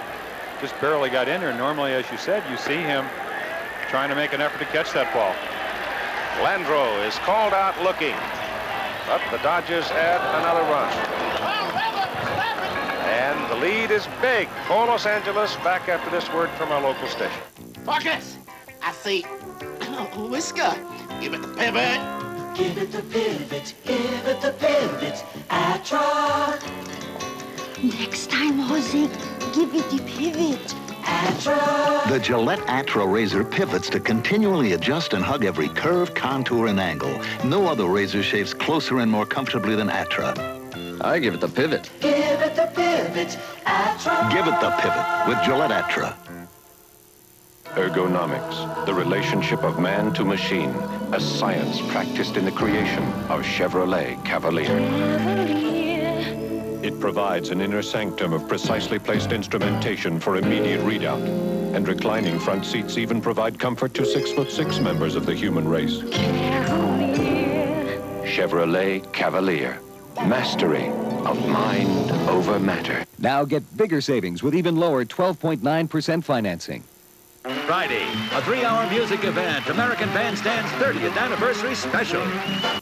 I found a perfect 10, but I still love my perfect 4. Dunlop Generation 4. America's most advanced radio. Should be a lasting relationship. I listen to a lot of beats, but listening to KFI certainly has developed my ear for hit music. Now you can get the Carl's Jr. award-winning California roast beef sandwich plus a bag of fries and regular soft drink for just $1.99. That's an award-winning deal. X-rated TV tonight at 11. Rodriguez for New York in the bottom of the eighth. Then it'll be Cerone and Milbourne. In the meantime, the Dodger faithful are starting to put on their dancing shoes. Steve Howe in relief of Burt Hooton, trying to save it for him. 9-2. As Howe pitches to Rodriguez, Keith, I was mentioning before, John McMullen, who owns the Houston Astros, is here tonight. Talking with him before the game, he said, we thought we really had the Dodgers on the hook this year, but they have a way of scratching and clawing and coming back, and he said by the time we reached the fifth game, and we were tied 2-2 after the 2-0 lead. Stroke going to drop in for a base hit. By the time we reached the fifth game after the 2-0 lead, he said, I got a call early in the morning of the fifth game from a psychic. And I took the call. And I began to do the things the psychic said I should do. And he said, that didn't help. He lost with Nolan Ryan.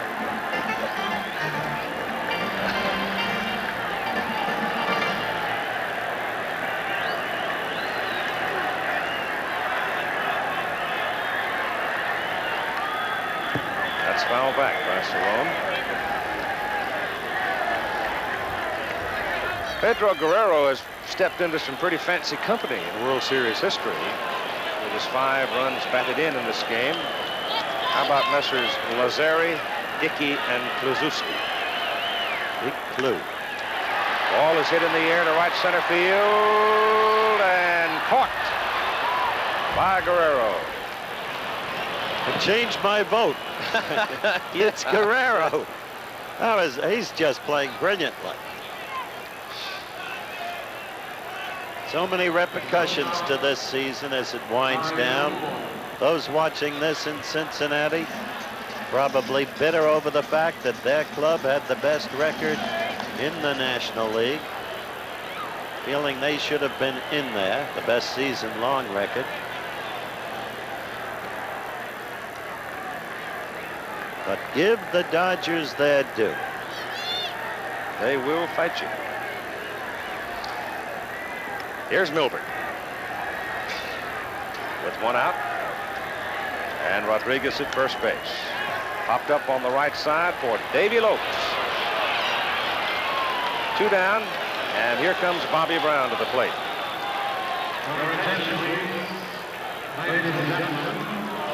That young man going to have a happy memory of this series. He is young. He is a great athlete, and other great ones have gone through this kind of thing. Referring to these two teams, I remember when Gil Hodges didn't get a hit 20 times at bat or more. It was an horrendous series for the late Mr. Hodges. He came out of it Go back to 1971 when we played the Pirates. Willie Stargell was one of those streaks where just could not hit the ball. And you go back to 1979, and who was the dominant player of that World Series? Willie Stargell. Willie Stargell. Very good analogy. We had Clay Dalrymple in 71 as one of our catchers, and he said when Stargell gets in one of those, I guess, slumps, he just doesn't pick up the ball. Dave pitched Winfield well. He's helped him out by being very impatient, but I'm sure he'll have another chance sometime. Brown swinging a miss for one and two count. Two out, and Rodriguez on first. Steve Howe. Pitching for Los Angeles in relief of, Hugh, of Burt Hooton. Burt went five and a third.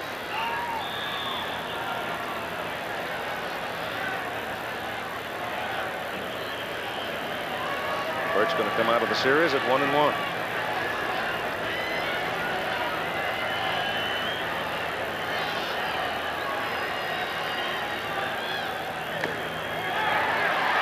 Foul tip held by Yeager. Brown is gone. Yankees are out at the end of eight innings of play. The score is the Los Angeles Dodgers nine, the New York Yankees two. Dave LaRoche in warming up for New York. Scoring summary goes this way. Back to the third. Randolph a home run. 1-0 New York. Fourth inning. Baker single. Monday two-out single. Yeager an RBI single. Tied it at one. Then into the fifth inning. The rundown on it there is New York made it a four to one ball game. And Guerrero's two-run triple the big blow. In the sixth inning, the Dodgers pretty much put it away, running it out to eight to one. And then Guerrero's home run makes it 9-2 as the Yankees got their second run in the sixth inning. And then some very tentative base running denied them an obvious opportunity to at least have three runs on the board. But we are at 9-2, and here we go in the top of the ninth. Dave LaRoche, one of two New York players not used prior to tonight in the World Series, the other being Dave Revering.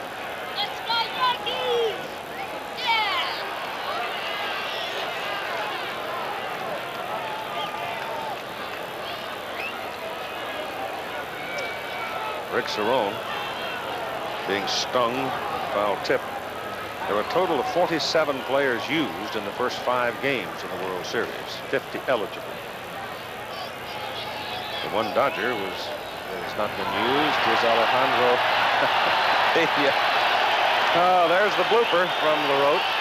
Might as well add that. Yeah. Trying to get a laugh out of it.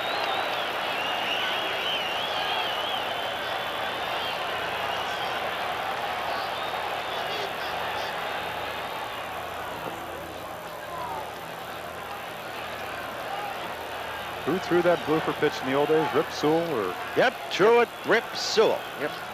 Did Williams hit the home run in the All-Star game off it, or do you recall that? Yeah.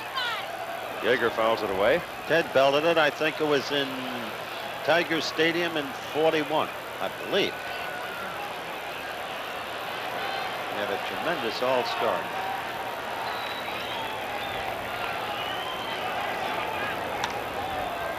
To the right side, late break. Up the catch is made by Reggie. Well, for Righetti, there'll be many more seasons. No question about him. He had an unfortunate outing Friday against Fernando Valenzuela, who himself was shaky but came on strongly in the late innings. But Righetti, he can pitch. He's got a great future. Steve Howe swinging and missing. Dodgers at bat, top of the ninth. One last chance for New York, and they trail by seven.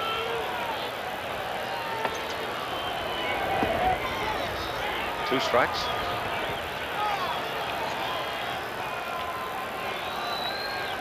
And forever and a day, they're going to talk about Bob Lemon lifting Tommy John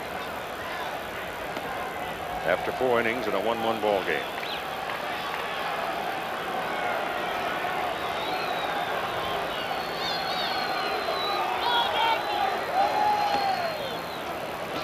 Two balls and two strikes to Steve now.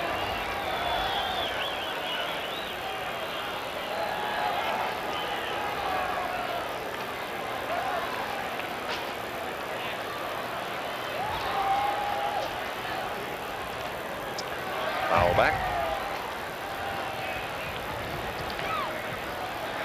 Especially painful for Bob Lemon. Hi there. Must be the open disagreement and dismay of John at being removed. Howe strikes out. That's two down. There is Bob. The second baseman, Davey Lopes. Now Dave Lopes with the crowd. Majority of them gone. We had at one time 56,513 in the ballpark.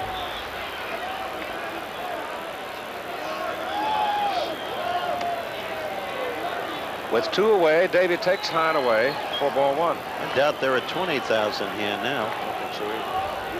The Yankees will have Randolph, Mumphrey, Winfield. The fourth man would be Jackson in the bottom of the ninth inning. One and one to Davey.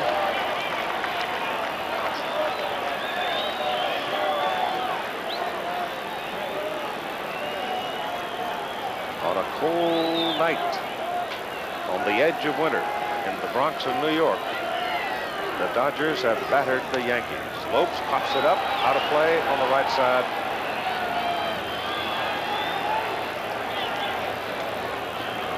And the count is one and two now on Davey.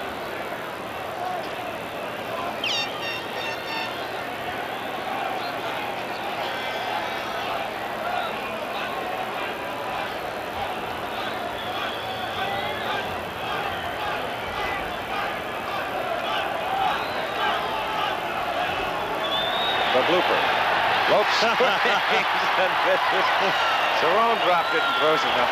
Well, he couldn't resist it, could he? Yeah. At the very end, LaRoche put his act together, and he's taken it on the road.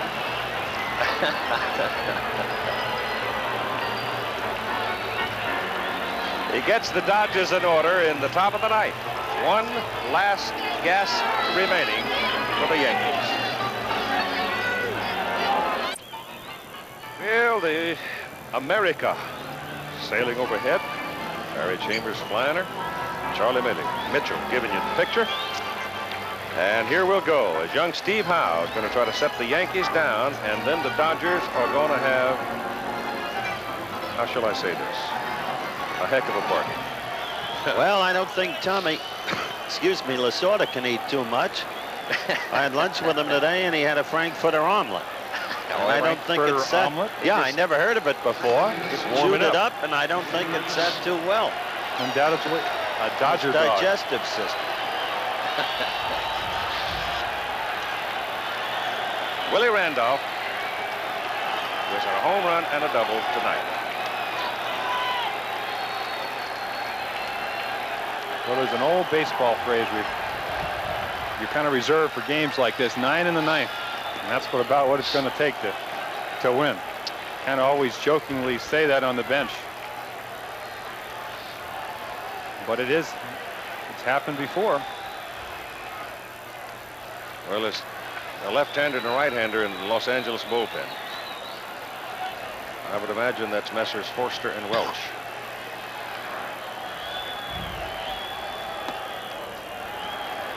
Two balls and a strike to Willie Randolph. See the information there on Willie. He's put his name in the World Series record book. Fouls it away. And the few who remain up in the upper decks scuffle for a souvenir. Cynthia Ann Howe. Wed just over a year to the young man out on the mound. A man from Michigan. Pitch is outside. Three balls and two strikes. Speaking of Michigan, an old, good, and long-time friend left us, Bob Ufer, so many years. The radio voice of the Michigan Wolverines. Michigan, Michigan, Michigan. How much fun he was. We'll all miss him. Randolph has certainly gotten on, Keith.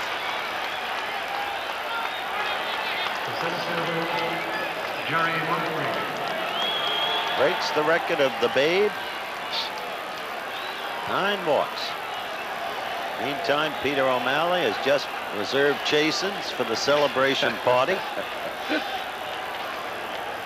They drew over two million in a short season. There's a strike to Mumphrey. And Jim Palmer's rooting for nine in the ninth. If there had not been a strike, I don't think there's any question the Dodgers would have gone over three million again on attendance. Might have broken their own record. Not only that, they have the oil rights under the land. Yeah. I know you New Yorkers uh, still chafe some at Walter's decision. However, those of us in the West have enjoyed them, and he did make a heck of a deal.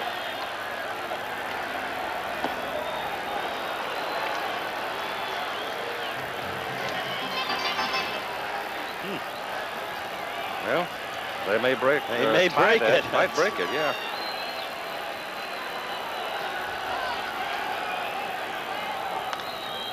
Fouled out of play.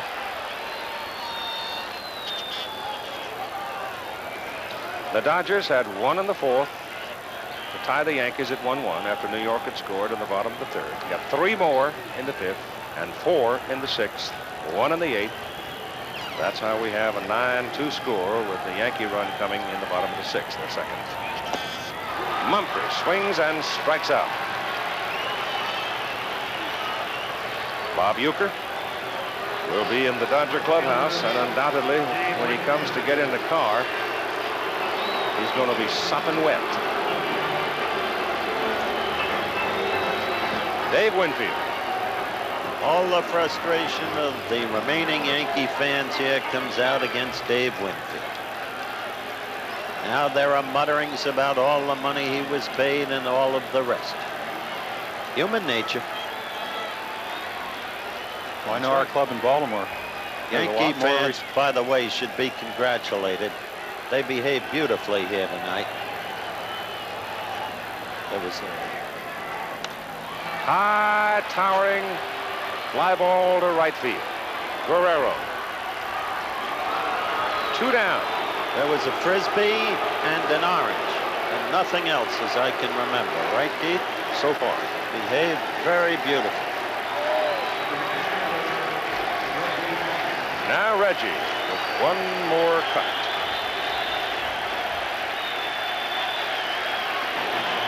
Fans are chanting Reggie. Those relative few are still here, perhaps remembering all the heroics and sensing that, look at them, that this is the last time, or could be.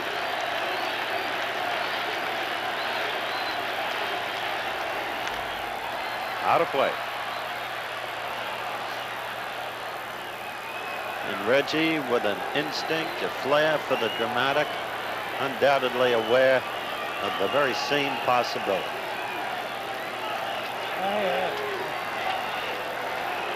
Still I'm no we'll- word on the MVP. We'll probably get it. In fact, we will get it in the clubhouse. Well, Steve Howe has the edge. Two strikes, and Cynthia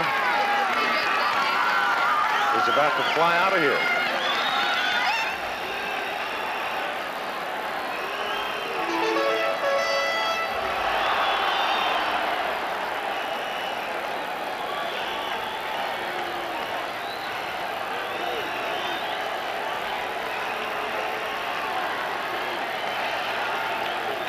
Two strike pitch to Jackson. One and two. Rick Cerone, as we pan down the Yankee bench, Ron Davis, Dave Righetti, Charlie Lau just walked by, Barry Foote with the mustache, the big brush mustache. Foul tip. Bangs off Yeager's face mask. Maybe it's fitting that Reggie be up there now.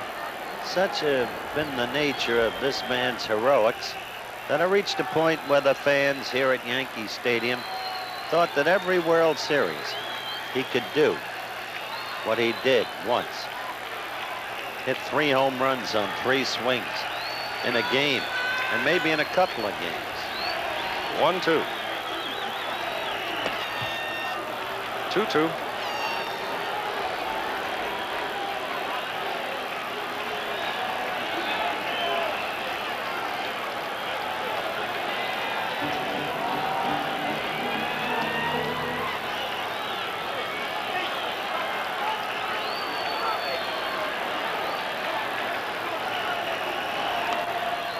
Fouled away. It's a 9-2 ball game. Steve Howe in his early 20s. Reggie Jackson in his middle 30s. Will not yield.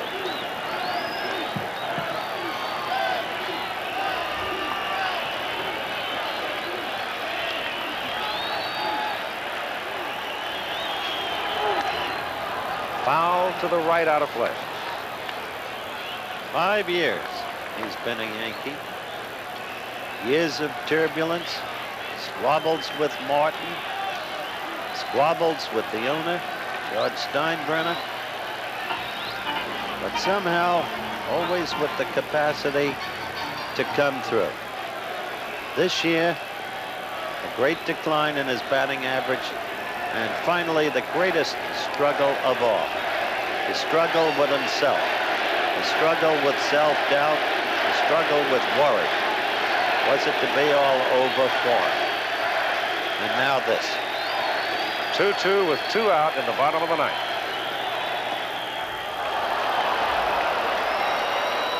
Well, they're stretching the string as tight as they can in the final moment. Three and two.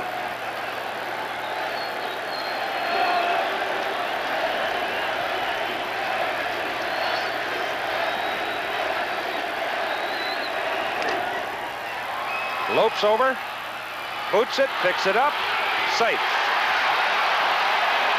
And Reggie hobbling, limping. That calf muscle problem that disabled him. Apparently rearing its head again. But he gave it all he had going down that baseline. See Randolph scooting by there with two out. Willie is on second base now. Reggie is on first base. And that's when he did it. That last long stride. Davey Lopes apparently has got some dust or something in his eye because he's going down trying to dig the ball out. You see the dirt flying around.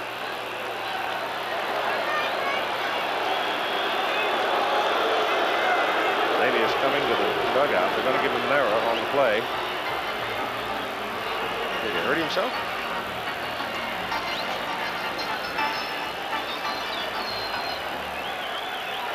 Ladies and gentlemen, a reminder, no one is on you. That incidentally is the sixth error by Davy Lopes. See, it is a record.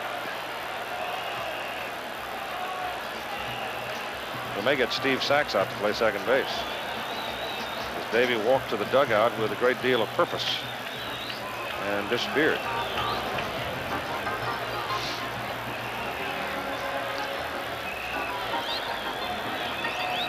However, he will be part of a championship team and whatever manner of record you might consider errors in a series and in a game. His pain will be alleviated considerably by the ring he'll wear on his hand. You wonder at that moment what Steve Garvey and Reggie Jackson might be talking about, Jim. Looked like they were talking about the ground ball that Lopes missed, that it stayed down. But no, yeah, knowing Reggie could have could be Davey anything. comes back now. Lopes is back out of the dugout. I think he had uh, a face full of dirt. Garvey might have asked him what size uniform he wears.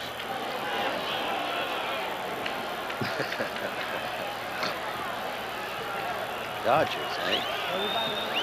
I doubt it. I don't know about that. They're still smarting over the GOAT Stenhouse deal. That they are. Bob Watson with two on in a 9 to 2 ball game with two out at the bottom of the ninth inning, and Steve Howe throws it high.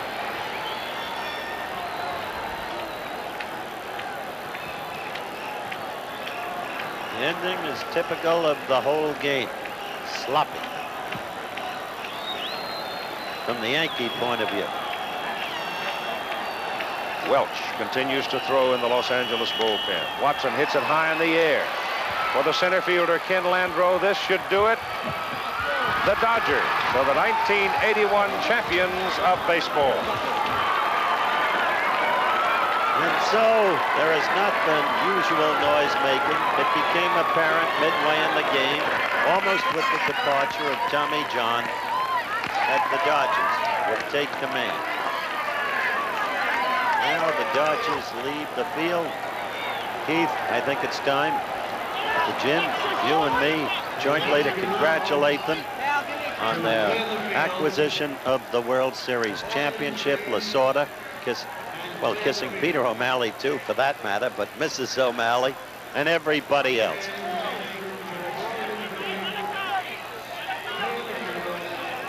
For the first time in history, we have a three-way tie for the MVP, Guerrero, Cey, and Steve Yeager. And under any circumstances, all three were worthy contenders. Each contributed in his own way.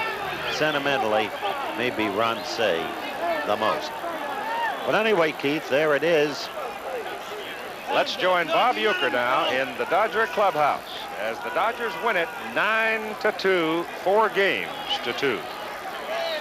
Thank you very much, guys, upstairs. And we're standing here in a very, very happy Dodger clubhouse, and we are awaiting the arrival of Mr. Peter O'Malley, Al Campanis, and Dodger manager Tommy Lasorda. And standing alongside me, the Commissioner of Baseball, Mr. Bowie Kuhn, who will make this presentation very, very shortly here in a very, very happy Dodger clubhouse. Bowie? No question about it. It's an exultant Dodger clubhouse, an outstanding comeback win for the Dodgers who came back from everything this year. You know, it seemed the last three series, the Houston, Montreal series, and then falling behind the Yankees 2-0, it seems that's what it took for this Dodger ball club to come back. I think that's right. They seem to face the challenge. They're veteran ball players. They're not put down by being behind. They face the challenge. They came back. Well, we're waiting for Tommy Lasorda here. Tommy, I'm going to grab Tom Lasorda over here. Tommy. Tommy Lasorda. Congratulations, Skipper. Nice going, kid.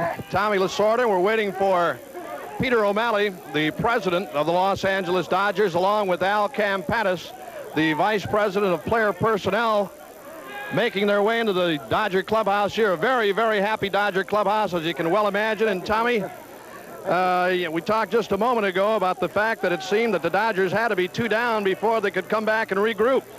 It's a great, great victory. This is something that has escaped us for a long time. And we wanted that championship so bad. We wanted to bring it back for Peter and his sister Terry. Those are the people that have been great to us. Al Campanis. I want to thank all the Dodgers, all the Dodger organization, everyone who played such a vital role in this victory. What a tremendous win. Hang on just a second here, Tommy. We have Mr. Peter O'Malley coming up here, the president of the Los Angeles Dodgers Baseball Club. Peter, come on up here. You got to come up here. You might as well jump in here right away. And where's Al Campanis? You got to get up here. You might as well jump in here. And we got to make the presentation here, Mr. Mr. Commissioner. Here's Al Campanis. How you doing? Come on up here. And the Commissioner of Baseball, now with the presentation of the World Championship Trophy. You get Tommy Lasorda back up here again. Tom, come on back up here. And the presentation now, Mr. Kuhn, if you want to you want to go ahead here and wrap it on right now. All right, to uh, Peter O'Malley, to Al Campanis, and to this great skipper, Tommy Lasorda, I am very proud to present you the trophy standing right here. Hey, tastes great! Tastes great! I'm proud to present you this trophy, emblematic of the 1981 World Championship. And boy, you guys deserved it. You worked all the way to get it. Tremendous comeback win. Thank you, It's Commissioner. yours, Thank you very much. Thank you very much. And I just want to say this. All of us feel that we work for a great boss, Peter O'Malley. Thank you very much. It's a great, great. Hello, everybody. I'm Paul Moyer with Ted Dawson. I think you gotta love it, huh, Paul? And we are live here at the Sports Deli in Century City. They may not be dancing in the streets of New York, but they're dancing here tonight, I'll tell you, Paul, Paul, a lot of people say that LA fans aren't very energetic. This still hardly proves that, doesn't it? Absolutely. These people have been going crazy here all night, leading cheers and hollering and screaming. And we're going to be here live with Eye on LA. Teddy, who would ever thought it? They'd come back like this. I tell you, when they were down 0-2 to Houston, they were down 1-2 to Montreal, they were down 0-2 to the Yankees. A lot of people never gave up. Obviously, Tommy Lasorda never gave up. These people never gave up. We, of course, will have all the highlights for you later. All right, I can hardly hear you talk or hear myself talk. We're going to have the whole program. We'll be back live out of Eye on LA. Ted Dawson, Paul Moyer. Now back to the ABC Television Network. Let's go back to the clubhouse. Here they are, Commissioner, and uh, again, I'll, I'll turn it back over to you. Okay, we have something we've never had before. We have three winners of the Most Valuable Player Award, and I think it's very fitting for the great teamwork of the Dodgers that the Sport Magazine and Major League Baseball award to the most valuable players should go to three men. Pedro Guerrero, Ron Cey, and Steve Garvey. And I want to congratulate you all. A tremendous accomplishment, a real team effort, and you deserve the trophy. We're going to have to have some more to get around all three of you. Thank you very much. Thank you. Commissioner, would like to, to thank you. Would like to thank our 10th man around the country, the Dodger fans, the great fans of Southern California. Uh, we want people to know that we won this World Series. The third time was a charm for us, and we thank everyone, and we thank God. Ron Cey, step up here, Ron. I think, you know, you surprised everybody by coming back to play tonight. And I got to ask you, when you made the decision to play, you were originally in the starting lineup, but when did you finally decide to play? Well, Bob, I came to the park uh, telling them that uh, everything I had done preliminarily is, had turned out all right. I told Tommy to put me in the lineup. If I couldn't make it, I'd tell him. I had to go through the entire workout, have everything worked out before I was going to make that decision, and I'm just glad that it worked out. Uh, I got a little dizzy running around the bases at one inning where we uh, broke it open to four and one, and uh, I, the uh, lightheadedness couldn't wouldn't go away for me, so I decided it probably time to take a bow. So it's just great. I can't tell you what this means to all of us. And we get Steve Yeager here. Where is he? Here he is, right, Right here. Steve you, right Yeager. Behind you, A man who had an outstanding World Series, Steve, and I uh, I know you're very, very happy. I know you're proud of him because old catchers stick together, right?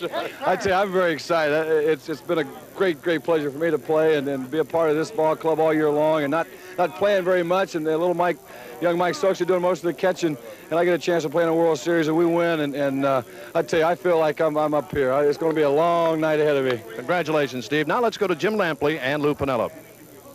Thanks very much, Bob. Obviously, the atmosphere in this dressing room is quite different, quiet, but not completely mournful, professional as you would expect from people with the experience that these guys have.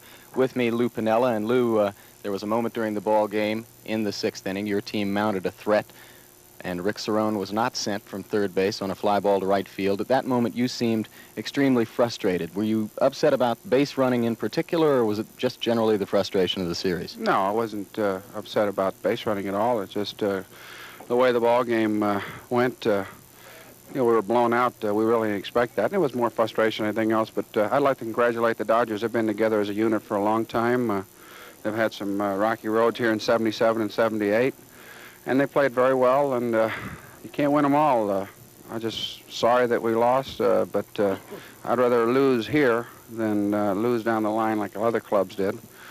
And uh, hopefully this club will be back next year. They turned it around and did to you what you did in 78, winning the last four after losing the first two.